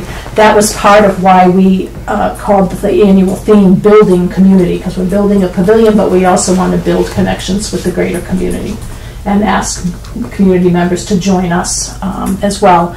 Uh, we started that with the kickoff cookout, inviting, I guess the Facebook group got a hold of it, and they got some of those folks you saw in the audience who have preschoolers came to our cookout with us, and um, we had the pastor and a number of, of community members who don't have children here that attended, so that was a nice connection. We're going to take a look at, when I say ELO opportunities, those are extended learning opportunities, places outside of the building where kids can um, support their, their learning. And we are reading as a faculty book study, The Leaders of Their Own Learning. It's a great book that deals with just that. How do you empower children to assess themselves, to be more self-directed? How do teachers kind of let go of that control a little bit and uh, put structures in place as a school for fostering that in, in the kids? Um, and then the student council is off and running again, and hopefully will expand and be a little bit even more involved than with last year. We, we were work in progress last year, and we've hit the ground running. Um, the kiddos will continue to manage the all-school meeting, not just running it, but actually planning it and, and inviting people to speak and um, being much more involved in the planning process there. The second goal was the PACE, which we've talked to you a little bit about, performance assessment and competency education. So we started this summer um, attending workshops with our SAU colleagues, but we are partnered with Pine Tree School because we already offer some um, multi-age classrooms and more performance um, sharing of learning. They're doing student-led conferencing already. They've been into it for I think two years now. Mm-hmm. So um, we're kind of partnering up with them. That's going to give our faculty um, other colleagues, and I think one of the teachers mentioned that somebody outside of Jackson to be talking about what's working, what's not working with kids, and have a bigger professional commu- community to learn with than just um, our little that's good. Our little uh, school here. There's a quality performance assessment. You know that part of the PACE project is to use performance assessments to evaluate the progress of your students as opposed to the Smarter Balance formal test. Um, we won't be ready for that for a couple of years down the road, but we'll be starting to look at how do you develop a quality performance assessment that's reliable, that tests what you expect it to test, and is um, replicable among other teachers. So we'll be working with st- uh, teachers in schools across the state, not just within our SAU, to do some of that work. And then um, I have a, another handout here. Part of what we, um, did I keep one? Nope. Don't where my master went and all my papers I'm shuffling here. So part of the leaders of their own learning is that you engage your students in their assessment processes and help them get a handle of their strengths and weaknesses in order that they can um, design their own path for how they're going to learn and what's going to help them as a learner. If you look at this circle of uh, little circles around the edges, you can see that we've already done standards-based um, standards-based grading here in the SAU and in the school. We've set learning targets, which is the same as the learning objectives that we've been talking about through the reading and writing workshop and math workshop. Um, the checking for understanding is something the teachers learned a lot about over the last couple of years with the reading workshop and writing workshop um, professional development that we've been doing. Um, using data with students will be a little new um, because we haven't often sat down with the students and said, this is how you've tested on this particular area, and then hopefully get them to engage in I need to do more studying, I need to hear it in auditorily, I need to move, you know, try to look at how they're learning. So that's a part of the new um, what we'll be working on this year with the performance assessments and the performance-based um, inventories and such, and the student-led conferences. Gail, just because you're on that subject, um, are kids taking smarter balance tests this year? And Kevin, can you clarify this? Or I've heard Yes. that they, that Well, it's Well, not smart. It's not Smarter Balanced anymore. It's a new company that they've Well, contracted that's with. what I'm asking, because the reason I'm asking is because it's, it's, you know, we were trained, we trained our staff for years on smarter balance, now the state yanked that out, and what, what are we getting for tests now? And are we getting less of them? Because I, I heard we're getting less as well, but, They're shorter. From what I understand, they're, they're shorter in length, but they're still testing the same areas at the same grade levels for this year. Some of the schools who have matured more and have been doing PACE for two or three years, they no longer have to administer all of them. They still do, I think, three, four, and uh, five, depending on the subject area. The subject areas are kind of spread out, so students won't be tested with Smarter Balance every year once you've moved completely into the PACE model. but you're not concerned about the tests coming in this year with your staff? I, I don't, I- we don't know because we haven't seen them. Okay. And it's hard to use comparative data when you switch Right. instruments, Right. which, that's why I think the PACE piece is, is extremely important. It's, it's, it's more appropriate geographically, it's more appropriate, and it's statistically valid, so that if our scores and what the teachers, it also takes teacher input into it as well, so it might say, okay, Pam scored this, where does, and then they get rescored by an outside group to validate those scores as well. Um, much more authentic, much more performance-based, and much more personalized from, from year to year. So that is that control piece that I think will have more meaningful data to help drive student achievement in instruction later on. Sorry, I didn't want to get off. Well, and, and for us, it's the local assessments that we're doing, the running records, the math, you know, checklists and the spelling, things that we do day to day that we use to design the instruction for the children. The bigger tests like NWEA is one that's been consistent, it's been around a lot, it's normed, it's been used on thousands of children. So that's kind of our benchmark about, okay, are all of the kiddos in Jackson continuing to make about a year's gain, hopefully more, in a year? Um, so that's kind of the consistent test that we use here is the NWEA, and then the teachers depend more on their local in-class assessments to design their instruction, um, more so than the Smarter Balance test or this new one. Yeah, we've got a we've got a flag that's independent. I think with the new one, though, the, the, the idea is, one, the company that they, that they contracted with has been writing the questions Mhm. already for most of the Smarter Balance. So the idea is that they're gonna give some of the control back to local, Yeah, more what local control, Mhm. which does sound a little bit scary, but one of the coolest things about it is that it's a really adaptable testing platform, so that it, it will challenge more as the kid or, or it will up the challenge as the, well, not up the challenge, because it's an equal challenge for all of them, but if you have a kid who, say, is testing at a seventh grade level, they will keep making the questions more difficult. And they're also testing them in different ways, so it's not simply like, is two plus two four? They have to show their work, they're evaluating in those ways. So it's meant to be more interactive and more personalized. Is that your reading of it? It is. It- they're, they're trying. They're trying. They're better than what they used to be. Let's put it that way. And they are more adaptive to to where students are. NWA does that too. If you get three questions wrong, it'll reprogram the. And if you get three right, it jumps you up a little bit. Um, and they do have uh, multiple methods of assessment. So there is a performance task related to it and um, and they aren't easy. But it, the problem is, is that when they change from year to year, It's hard to compare. there's a learning curve on the teacher's behalf, the student's behalf, and then they have to recalculate the cut scores and Right. Right. And so you just heard about the pavilion project. That's something that's going to be an ongoing goal for us to get that raised and, and done. And then we continue to use Mind Up Work for our social emotional learning component. We'll be doing children's stage adventures in the spring. And we're talking about, rather than having, having an open house, to be having students demonstrating something that they've learned and make it more student-led than um, open house where you come through and just look at the work. Yeah. Um, And of course, com- community service projects, we're always about that. Uh, We've so far begun to raise money for Houston and to collect supplies for Houston. And I'm feeling like the faculty feels like some of the hurricane damaged areas of the country and the world would be suitable for any fundraising that we do this year.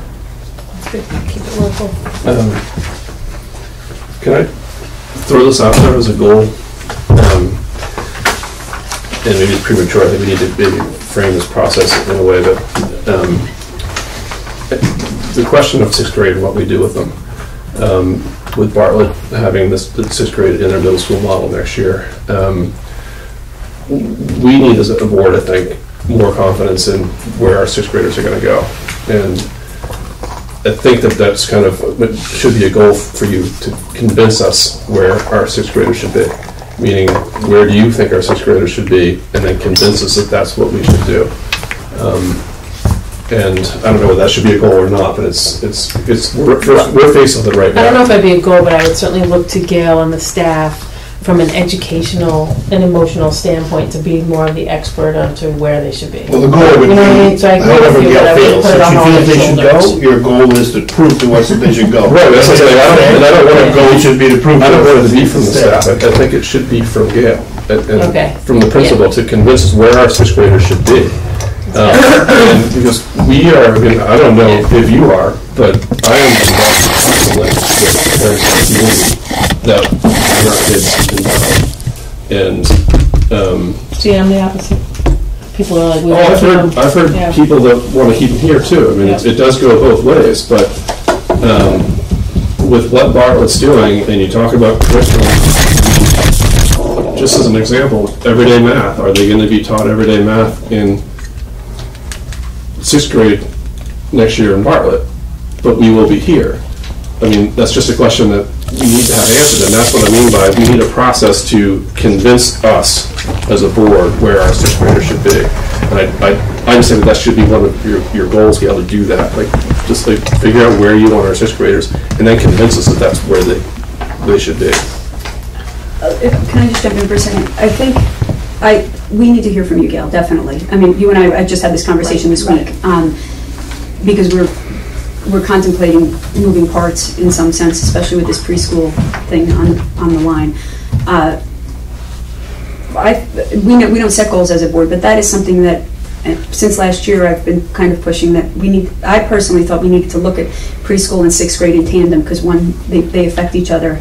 And I, I think we t- need to take a little onus as a board too, to, to look into the issue and decide, you know, I mean, we talked about, you know, there's really good research, the top dogs, you know, you need to give those kids the sixth grade year. But there's also a lot of really good evidence that our kids thrive over at Bartlett. So, and some kids need a bigger pond, right? I mean, we hear that all the time in Jackson, so, um, That's what I'm saying, I'm it's- I'm just a- gonna throw in there that I think we do need to hear from you, and that, as with everything, I think that however the staff wants to weigh in, not necessarily to come to a board meeting, but we need to hear from that, but I think we need to do a little more on our part, because we have, I mean, you and I have had a number of conversations about it, right? And, but I haven't, we haven't really spoken as a board, and I haven't heard from anyone. Well, that's what I'm saying, like, we need to come up with a process to, Yeah. to, to go through this, but, um. There's a lot of information. That's what I'm saying, I'm not sure it's appropriate as a goal for Gail to do this, Right. but, but one thing I want out of, out of Gail is, she needs to come to us and tell us, convince, sell us on, on where our kids should be, because we're hearing it from everywhere.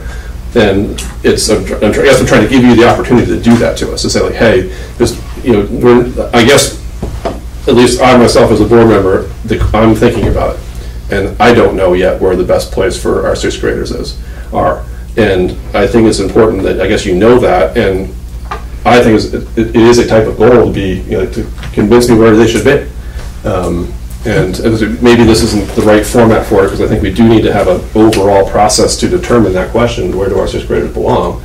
Um, But the clock's ticking pretty quickly on that, on us. Um, And, um, I mean, I would, I would love to have more information from you about the kinds of reasons, like, what are they telling you are the reasons, what do they think they're going to get there, that they're not getting here? What are the, you know, factors that they're most concerned about? Three of you now have kids, well, four of you now, but um, have children there. And and what are you seeing? I'd be interested, I mean, you've got kids that, they- I know I go over and visit there, and I've got my own impressions, and I think like anybody, there are things they do really well, and then there are some other things that I think my biggest concern from a board member is not, and, th- uh, and this is what your job is, and your job is, I'm not really looking at it as an educational, what's better for them educational, I don't know that answer. For me, as an outsider who knows zero about education, the things that I would look at is, I want to know as a parent is, okay, my kid's going in, in seventh grade, where they're starting sixth grade, is that going to be okay? What's he, what's he missing? What are they doing? How are we going to make sure that we're on the same page? Socially, are there going to be issues? He's, he's been out of loop for a whole year, he's going to join in a year through. What about soccer? Is soccer going to go to four, five, th- two, three, four, five? Is there going to be a soccer team there? Are we going to have a soccer team here? Are they going to ask us to send our kids over there to play sixth grade middle school sports now? I mean, these are all the things that we, for sixth graders. But the, but sixth grade sports is, a- is an issue. It's like, Yeah. Where are, where is Bartlett's sixth graders going to play sports next year? Like, that's a question that we need to ask Bartlett. Right. So I mean, that, that's, like, that's the kind of Right, work just yes. we as a board Yeah. need, need to We do. were prepared at our joint meeting to, to be bombarded with some of these questions too, at our joint meeting with Bartlett. Um, and that's just it, like, this is gonna start steamrolling at us pretty quickly. And just one component of all of the things that we need to do as a board, um, the, I think that, you know, one of your goals should be to convince us where our sixth graders should be. Um, Like, is French gonna be? I don't mean that you'll be successful in that, but I guess, um, Well, if you have a position, advocate for it, because you Exactly. value your And that's what I said. I opinion, mean, you know, like- so you might say, It's not gonna affect your job, and you don't need to, um, you know, to hope people like you. And I guess what I'm trying to do is provide you the opportunity to do that, and how do we do that? Is it through your goals? I don't know, maybe that's the wrong format to consider it in. Um, But, I mean, like, for instance, like, what Kevin um, and Katie might recommend to us as a board might be different than what you do, and we need to be open to, to that idea, um, and to consider that. So, I and I guess what I'm trying to do is, we're gonna have to have a conversation about this, and the, the easier that conversation is, I mean, the less kind of um, anxiety there is in that conversation, the better. Um, and, and that's why I don't know where the best format for, for this is, but um, you, I, I guess ad- advice is that you're going to have to advocate for where you want the sixth graders to be um, over the next couple months. Um, and I guess just to be aware of that. Do we have a deadline by which we need to make a decision? Are we looking at like a No. December deadline for next year? Is it? There's no deadlines. Oh, okay. Well, the Well, only I thing mean- would be budgetarily. Budgetarily, if we wanted, but there's no, nobody has said you need to decide by this okay. date, no. Right, but we- but we can't in our, in our May meeting, all of a sudden be like, yeah, we want to have our No. kids in Bartlett in the- January. in the No. fall. Because uh, January. Joe has already started some transition pieces. I know, like, for instance, Ferry Beach, we're discussing that right now. He would like to send his fifth graders on our sixth grade trip. Now, we have some concerns about that's been a sixth grade trip. Even, like, Joan's son goes there, but she's still concerned about him going away with the sixth graders. But he's looking at that as transitioning them in. So there are some transition pieces that are happening already. And And I know as French? faculty's discussing curriculum and, and advisories and things of that nature. um, You can tell they're gearing up for it, because their advisories have like six kids each in them right now. But I mean, like, that's just, like, we Right. know that, like, um, that, you know, like, our staff works a lot with Conway for curriculum coordination, but if, we need to be more concerned about our sixth graders being coordinated with Bartlett's middle school, and it's just stuff like, you know, if Joan and John are communicating with the staff there, it might be helpful to, to let us know that they're doing they that, are. so that, that, that the transition from sixth grade here into seventh grade in, Bar- that, that's what I'm most concerned about. Is Yeah. when our kids transition out of sixth grade from here and go into Bartlett at seventh grade, when their sixth graders are already in that middle school environment, that's my biggest concern.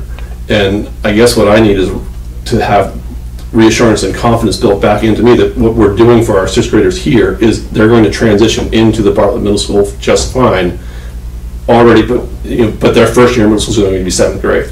And so how is that transition going to work? Um, and that means, I think, a lot of coordination between our staff and Bartlett's staff to facilitate that. And maybe that's already happening, maybe that's happening behind the scenes, but I guess what I'm saying is, some of that might need to be told to us, so that we understand that it's happening. I think And this, we haven't planned that transition because there's no decision made to send them. Um, So that's why I but think we still there need is to make sure that they'll timeline. be prepared to jump in a third of the way through. Like French, do we know, is Bartlett gonna start offering middle school French to the sixth graders, or are they gonna make them wait till seventh grade? I don't know those answers. So, I mean, those are- so if they are gonna offer to the sixth graders, does that mean we should have French? Well, but already the French that our kids have, they go in seventh grade and they're way ahead. Well, now we have Spanish, don't we?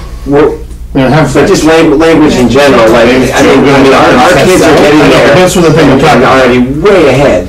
But that's what I'm talking about. Are our six, are our seventh graders gonna have to go in the sixth grade class to take their French, or are they gonna let them jump right in? So we second? obviously We have don't know some these questions things. to be asked. Yeah. So we could go round and round about this all Yeah. night, but we're here two hours already. Yeah. So I still have games to pick up, but I think that regardless of all that, I think we have some questions, and maybe each of us could write down some of these questions for the joint board meeting, not only in figures and numbers, but because I have some notions already as to what they're doing or not doing myself, and I would like to have that, you know, tested if, you know, ask them the question instead of just bringing it up here. So So I think at our joint board meeting, we should all come with some questions. It's on, is it on the agenda for the joint board meeting? Uh, I can put it on the agenda. But, Yeah. like right now, as a board member, I'm leaning towards, we need to send them. And, and I want somebody to tell me, no, we don't need And, them. and that's what I'm just trying to be honest about too, because Right. I'm in that same boat, and I don't want to be. I don't want to either, but right now, I think we have no. See, but on the flip side, I've heard that their sixth grade is just gonna be called the middle school, but they're not gonna be Oh, no, incorporated. they're gonna be in the advisories. We don't know that. Yeah, Joe has said that, they're gonna be in the advisories. Yeah, but what else? So anyway, so we have some questions. So I, I think, in fairness to Gail, also, um, maybe it doesn't need to be an absolute, either they go here or there. I think the first thing you want to find out is what's lacking, you know, what, what are, because on both sides, you may say, the model might be to collaborate a little bit more with sixth grade before you get to seventh grade. You know, it doesn't have to be all in or all out, you're right. Does sixth grade go play soccer up there? Yeah. the- Well, we- we have Can you do Bobby coming in to science play with for a us. couple weeks? The more you do that, then the more people are gonna be sitting here saying, well, can't we just send them there? They're over there all the time anyway. I mean, that's what's. And you have to gonna show why Yeah. it's valuable to keep them here in sixth grade. And we don't know why right now, so we want to be told why. I think is what Jerry was saying. Well, you seem to have good questions. From an We should educational go forward with their standpoint, questions. there's lots of non-educational issues where I would say it's, we have to send them. But, uh, t- so tell me the educational reasons why we shouldn't send them, you know? Yeah, and that's, I think that's, yeah, and And if, if I can just throw in like a little bit of a spin to make it more complicated. Nice. Uh, I mean, I think that this is an opportunity because to, if you really are fully embracing this whole Fred Bramante philosophy, there are some very special things about the Jackson community that m- m- maybe we don't know are, being tapped. I mean, I, I see a lot of changes even from last year in response to things we've said, so thank you for that. But um, this could be an opportunity for Jackson to do something very special and unique, and it might put us out of our comfort zones. I mean, I will say, as someone who's outside the system, but I do consider myself a professional educator. I got paid to educate. I'm home educating my kids. I spend my life working on this. I'm not as worried about those transitions as I know some of you are, because I think that kids are resilient, and I think that they are, they will adapt to whatever we set up for them, as long as we put, as long as we help them. But I'm not saying just throw them to the wolves, but um, I, I think it's worth a conversation, just talk about, are there ways where, I mean, is it possible to take, to keep our sixth grade here and do something, some more things with them than we've done with them, in a more formal way? So, you know, if it's connected, being better connected to Bartlett, or better connected to Conway, or better connected to whatever it is, can you just consider that when you're presenting to us? Because I, I find the evidence about keeping kids I, that sixth grade year, keep letting those sixth graders have that last year to be those top dogs. I find that compelling, and I don't want to throw it to the side just because we're worried about curriculum or transitions. So I'm just going to answer. So, answer. food for thought on that, hmm. On the sixth grade year being special. Yeah. We just voted Mhm. on preschool. Yeah. If the church says no, Yeah. you have a five, six class now every year. I'm, I think that's debatable. Not because- necessarily. Pretty good Um, chance. I am not, I am not putting the preschool with the kindergarten, just so you know. I'm not saying with the kindergarten, but now you got an extra class. Right, but You're we've gonna had keep five, sixth graders by but themselves. We've had five, six classes before. But Amy, just before you came on, this board instructed them last year, we do not want that. No, I We want get that. standalone No, no, I six. understand. So I'm just saying, we just But- told, said we want to stand alone. But on this six, and point alone, on the top dog thing, they were still the top dogs even when there was a five, six class. Yeah. And not, yes, moving them to just a sixth grade I think is also good, but that didn't, that didn't, suddenly now they're top dogs because they're by themselves. They were top dogs when it was a five, six class. No, I know, and I'm not saying that, I'm just saying we just gave her a mandate Right. last year that we wanted sixth grade all by To keep that mandate is so unclear, it's unbelievable. Because to me, like, it- it- it's- a standalone sixth grade doesn't necessarily mean that they're in a classroom by themselves. Yeah. You know, it, it I'm means just saying the curriculum- challenges. It means that the curriculum's a sixth grade curriculum. But I'm talking about the, the But added what challenges. But we need to be much more clear with Gail in, in the instructions that we give her, because like that whole mandate thing was completely unclear. Um, we, we went for over two years, it was so unclear that, it- that, you know, things unfolded, and that's really our fault, and that's why, you know, it's important that we keep things, you know, like, that, like it more clear. It's like, you know, just because the five, six is in the same classroom, because when it comes down to staffing that five, six classroom, we really want the sixth graders to have more of a separate, um, curriculum in that, maybe we have to make sure we have the right staffing in that room for Or them. eight or whatever it might Um, be. Yeah, um, I, I was just more making a point. that- No, no, I was just more making a point that there might even be more challenges that come against us now if the preschool ends up in this building Right. as far as preparing the sixth graders to enter in a third of the way through middle school. That's all I was saying. Um, And I don't even know, maybe, is it too late to try to talk to Joe for that October 16th meeting? To try to get maybe a, a couple of middle school staff members and maybe a couple of our sixth grade staff members so we can have a discussion with everybody there on some of these things? How do you guys envision this? Because, you know, how else are we gonna know when we hear it right from Joe and the middle school teachers? Oh, yep, sixth graders are gonna be taking French one, or nope, mm-hmm. sixth graders are not gonna be offered French one until you get to seventh grade. Okay, that alleviates that problem. Nope, we're sticking with five, six soccer. We're not gonna ask the sixth graders to come play middle school sports unless it's a numbers issue. Like, we don't know what they're thinking. So like. Well, I would hope, I would hope before, because I think that's a good idea, but I would hope at least for the October meeting, Joe should have some of those answers on his own at this point. And then if we start moving down the line with this discussion as to, okay, we're really starting to thinking more about going there, then you bring in the staff So on maybe both they'll sides and me. start, and start about that coordination, whether it's part or, or whole. But I think Joe should have. A lot of those answers. Should, I would certainly hope he would have some of those answers.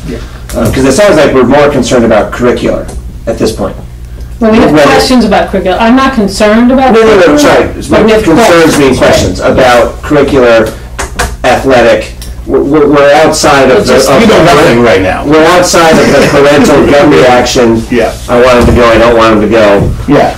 We don't have any information to have an opinion right now, really, is So the could, problem. can we try to get as much information at the October meeting, make sure that's on the agenda, and then can we put it as old business for our meeting next month, so that we can continue the conversation? Sixth grade uh-huh. transition. Whatever Sixth grade tough. fancy oh, way you want to put it, it's fine. I wouldn't say transition, people will get nervous. And do you but- think there's work that needs to get done in between now I and then? think there- Well, You know? because like you, I don't have answers about a lot of those questions, how exactly it's going to look, who's going to teach what, how are they going to, you know, divide the ki, I, I don't really know all those answers yet, because it's gonna be a change from, I can evaluate what they've typically done, because I've been in those classrooms, I've observed, I've gone to Ferry Beach, I've been there a lot, so I could speak to that. I don't know how much is gonna change with the sixth graders and what they've planned, I don't have that information. So I think the first step would be to hear from him all of the answers to those questions, and then I can evaluate a little bit better, well, if this is what he's saying, Right. they're gonna have the opportunity for, this is why. And we'll have more information about whatever happens with the preschool proposal and things like that, so we can come back to. Lots going on.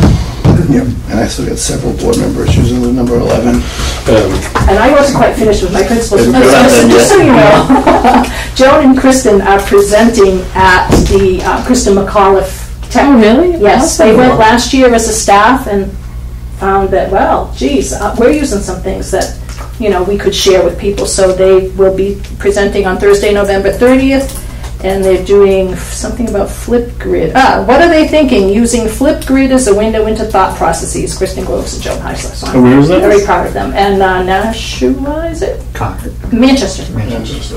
It's a statewide technology conference that happens every year. They've been going. for them. That's great. Yeah, I'm proud of them.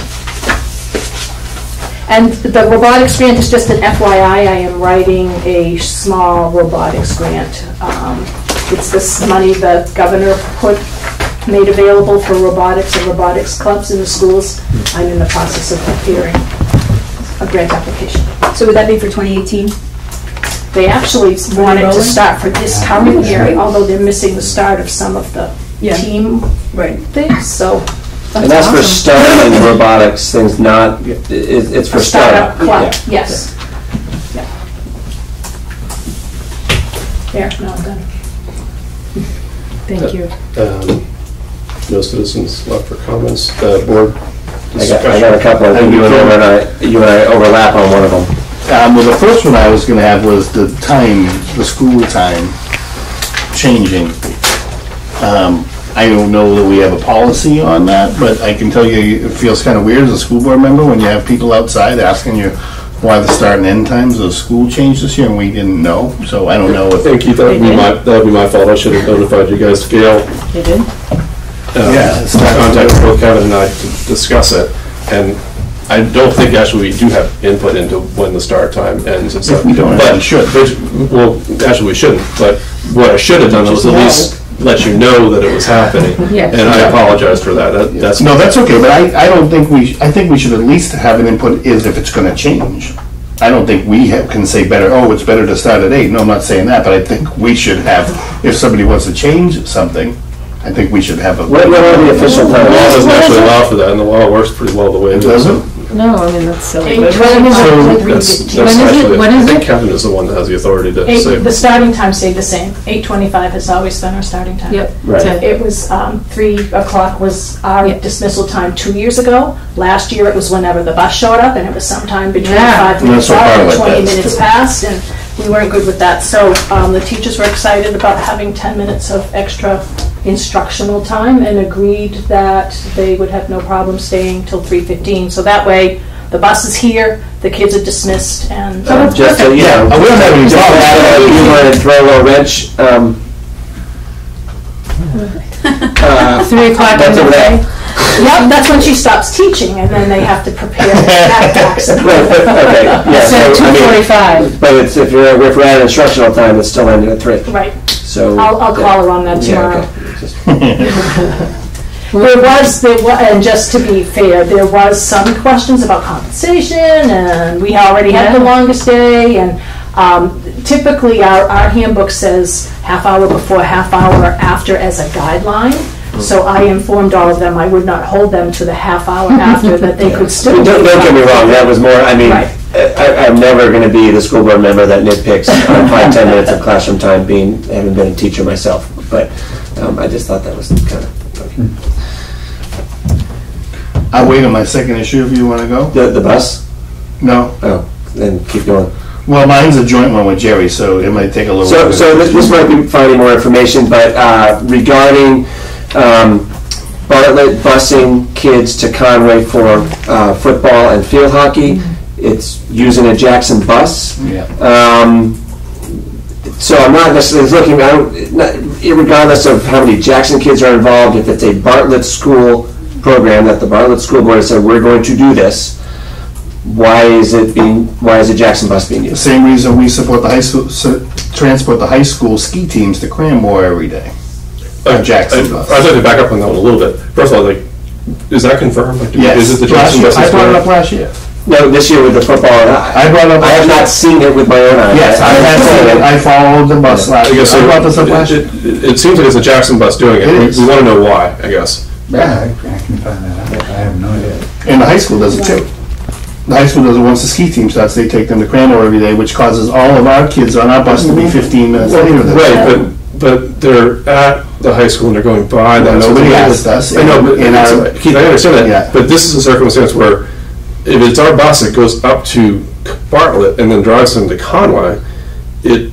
That's, that that is in my mind also, that, I agree, that is different than on our way dropping kids off. Well, it's, to me, it's worse, because now all of our kids who don't ski, uh, they, now they're getting on fifteen I get that, minutes but that's a later. different issue than, than a bus that isn't just there going Yeah. by and dropping kids off. But it's not either, because. Well, it isn't. Uh, The Walmart parks at It's- Vista, and the Bartlett bus goes to the high school. we knew that this, our bus was taking kids from, co- from the high school and dropping them off at Cranmore. We've, we've always known that, we knew that, right? Um, and we've been fine with this as a board, so at the end of the day, we can have that argument, but you've lost that because we haven't decided to change that. This one, though, is new to us. We didn't know it was a Jackson bus that's driving out of its way to Bartlett and then driving way out of its way to Conway. If it, so first I want to know, is it a Jackson bus doing? Because I saw it, it was a Jackson bus. It said Jackson on the side, which is where I first down saw West. Side Road. Um, and um, if it is, we need to know why. And So when I brought up, I brought up at one of our meetings last year, and then when we looked into it more, we, fi- that I was told that that particular day there was a bus issue and they had to send one of our buses. That was what was told when I brought, I brought this up at, I don't know when, but last year at one of our yeah, maybe that's the case here. And So then we need to- them. We need to, we need to find out Yeah. what's going on with it. But you saying that is, there's a ton of transportation things, because you say that about the, the school thing. We agreed to, s- about the ski team, we agreed to stop charging Bartlett tuition, um, for that bus fee, remember that bus fee? That We used to charge them, we agreed not to, because they told us they're picking our kids up at the high school, so our bus doesn't have to go from here to the high school. Well, now, We do. In the wintertime, when the ski team goes on, now our bus travels down there. So there's a lot of transportation issues that we've just let go. So we either need to jump on every Who's the issue. or- transportation committee? That's me. Okay. Yeah. We'll have a committee meeting. Yeah, I don't have, but I bring this up every year. Nobody else is concerned about it, so I always just let it go. All right, we're concerned now, let's get, Yeah. I think I need to market your meetings a little It's gonna be bit. like a five-hour meeting. Um, that was So it. you're gonna I- I follow do. up on it? I have- We have one more. I have, I have another Next thing meeting. too, but. No, at least one. I have one more thing that's just, uh, uh, should be a quick just to you to get some more information. So I know, and I'm sure this happened before, but I know the last two years, Jackson has had a high school student that has done a semester elsewhere and therefore withdrawn from the district for the fall semester. I know there was one last year, there's one this year. What happens with tuition with, That's an easy one, we pay for it. We pay, we only pay by attendance, though. We By ADM. If we have 80 kids in our high school, whether they're in Bangladesh or in Conway, they, if it's, if they're a Jackson resident, we pay for their tuition to Conway, regardless of where they go to school. No, that's not true, right? no, but they're withdrawing from the What we'll do district. is, if they withdraw, so it always lags a year behind. Okay, So if a student is there for 90 days out of the 180 days, you're billed for a half a year. So if they wi- withdraw for 45 days, the withdraw. ADM is .75 Okay. of a. So is it, so it's adjusted? Based on That's why it's, that's why it's a Right. year, a year. Because in these cases, the reason I ask, because in these cases, they actually were told, or the- it's the district policy to have them withdraw from the district completely Yeah. for that semester. Yeah, cool. And they enroll And somewhere then they, else. re- and they're enrolled somewhere else. And Or they're then, homeschooled. or they're homeschooled, and then when, and then when they return, they re-enroll. Okay. And, And it's just Otherwise, kind you're of- gonna foot the bill. right, okay, so that's, that was my question, great. Just a little further, if, sometimes they'll withdraw, but still stay connected with a teacher for a particular course, and then it might be prorated to Yeah. one-fourth of a day when they're away. That- These, these two cases I'm thinking of is a complete withdrawn semester somewhere else, and then they come back and re-enroll. And then did their caregiver pay for that semester somewhere else? Yeah. Is that- Oh, that- okay, got it. Okay, so that was not, we don't do any Check my exchange, sort of bank account. exchange facilitation. Um, I think for next, next meeting, um, just to give you the heads up now, and we can probably get the contract out. um, Keith and I met about Gail's contract. Um, We're going to recommend to the board that we approve her for, approve the contract that we've written, which is, a it's a two-year contract that extends um, a year out from the year that it's in. Um, So we're gonna recommend in October that, and we've rewritten the contract, um, so we can get the board members a contract in case people have any issues with the wording in it. Um, and then hopefully at the next meeting, either approve or discuss changes that we wanna make to the contract, but to, um, so the contracts are out through the eighteen, nineteen school year, um, now, and then go back, fall back into the normal two-year contract. Okay. So that would basically mean like we'd be, um, it was, it would be as though we rewrote the contract last April. So of retro for this year. Yeah. Yeah. And I don't think it would matter the date that we actually engage in that, but it would just be, um, it would get Gail contracted for, for next school year, um, and fall back into the normal two-year contract with the one-year extension halfway through. Right. Just before you came on, Andy, we let it expire. I don't know if you remember, every year we would renew for, not the following year, but the year after. I know. We let Right it, now, she is not under contract for next school year. we let it expire so that we could write a new contract. Right. And so we've, the new contract's been written. Okay. We can review it and then So our next meeting, we'll be recommending that we renew her for the year after, and then it'll go back to June, I think, is when Kevin comes to us for, It's April for, 15th, I think we have to notify is it April Yeah, 15th? April 15th, for the following, for the year. For the year beyond, Yeah. yeah. the year beyond the year. Gail, I just had a quick question. Any update on um, the sign out front being completed? John has been trying to reach the gentleman, has not been successful. He's going to do a knock on the door. And maybe get somebody else? The the best, uh, Yeah. the best sign burn I've heard so far was, uh, someone recommended that we offer the um, sign base as a place for the aquatic center to use. I was going to throw it in flowers in case to get pretty. You you can't put goldfish in there, that's not allowed, right? Yeah, one of the frowny faces I gave in your, in your thing had, had one nothing to do with your presentation. What is with the brown pen? Who, are you, the- uh, you had to stop using brown pens when you were in fourth grade. Adults don't use these. I have a brown pen. Well, purple. I've never even seen it. Comes in the pack, in the eight pack. Live a little. Are we good? Live a little. Um, Anybody else? Well, I hope so. Yeah. Next meeting, October sixteenth. Dismiss. Bartlett, sixteenth, five thirty P M. Maybe you should make that meeting earlier? Well, the- I- we went, we, there was a lot going on, but if you took out the preschool presentation and conversation, which I don't think was. No, I'm talking about the Bartlett meeting. Oh, oh, I thought you meant just like short the meetings. The joint one, should we try to make that a forty-five Yeah. minute meeting if we can? Is it too late to try to do that? We got like middle school issues, now we got bus issues that Andy's bringing up. Oh, wait a minute. We just shut you out of the I think that rather than having a discussion about the, the middle school with Bartlett, then we should just come prepared to ask Bartlett. Ask questions, yeah. give And they them- don't have give to them answer. questions. They don't have to answer them on the Yeah, spot. So exactly. Here's our, here's our questions. And actually, rather they didn't. And we could also come to because- their meeting in November and have another joint one if we wanted to. Right, well, some of their questions off the cuff are not always the actual reality. And five thirty, unless you hear from Joe that he's got a big agenda already. If he does, then we should look at more time. He's got no agenda. So five thirty? Okay. Motion to adjourn. Second. Jen, did you sign? Yes. Yeah, just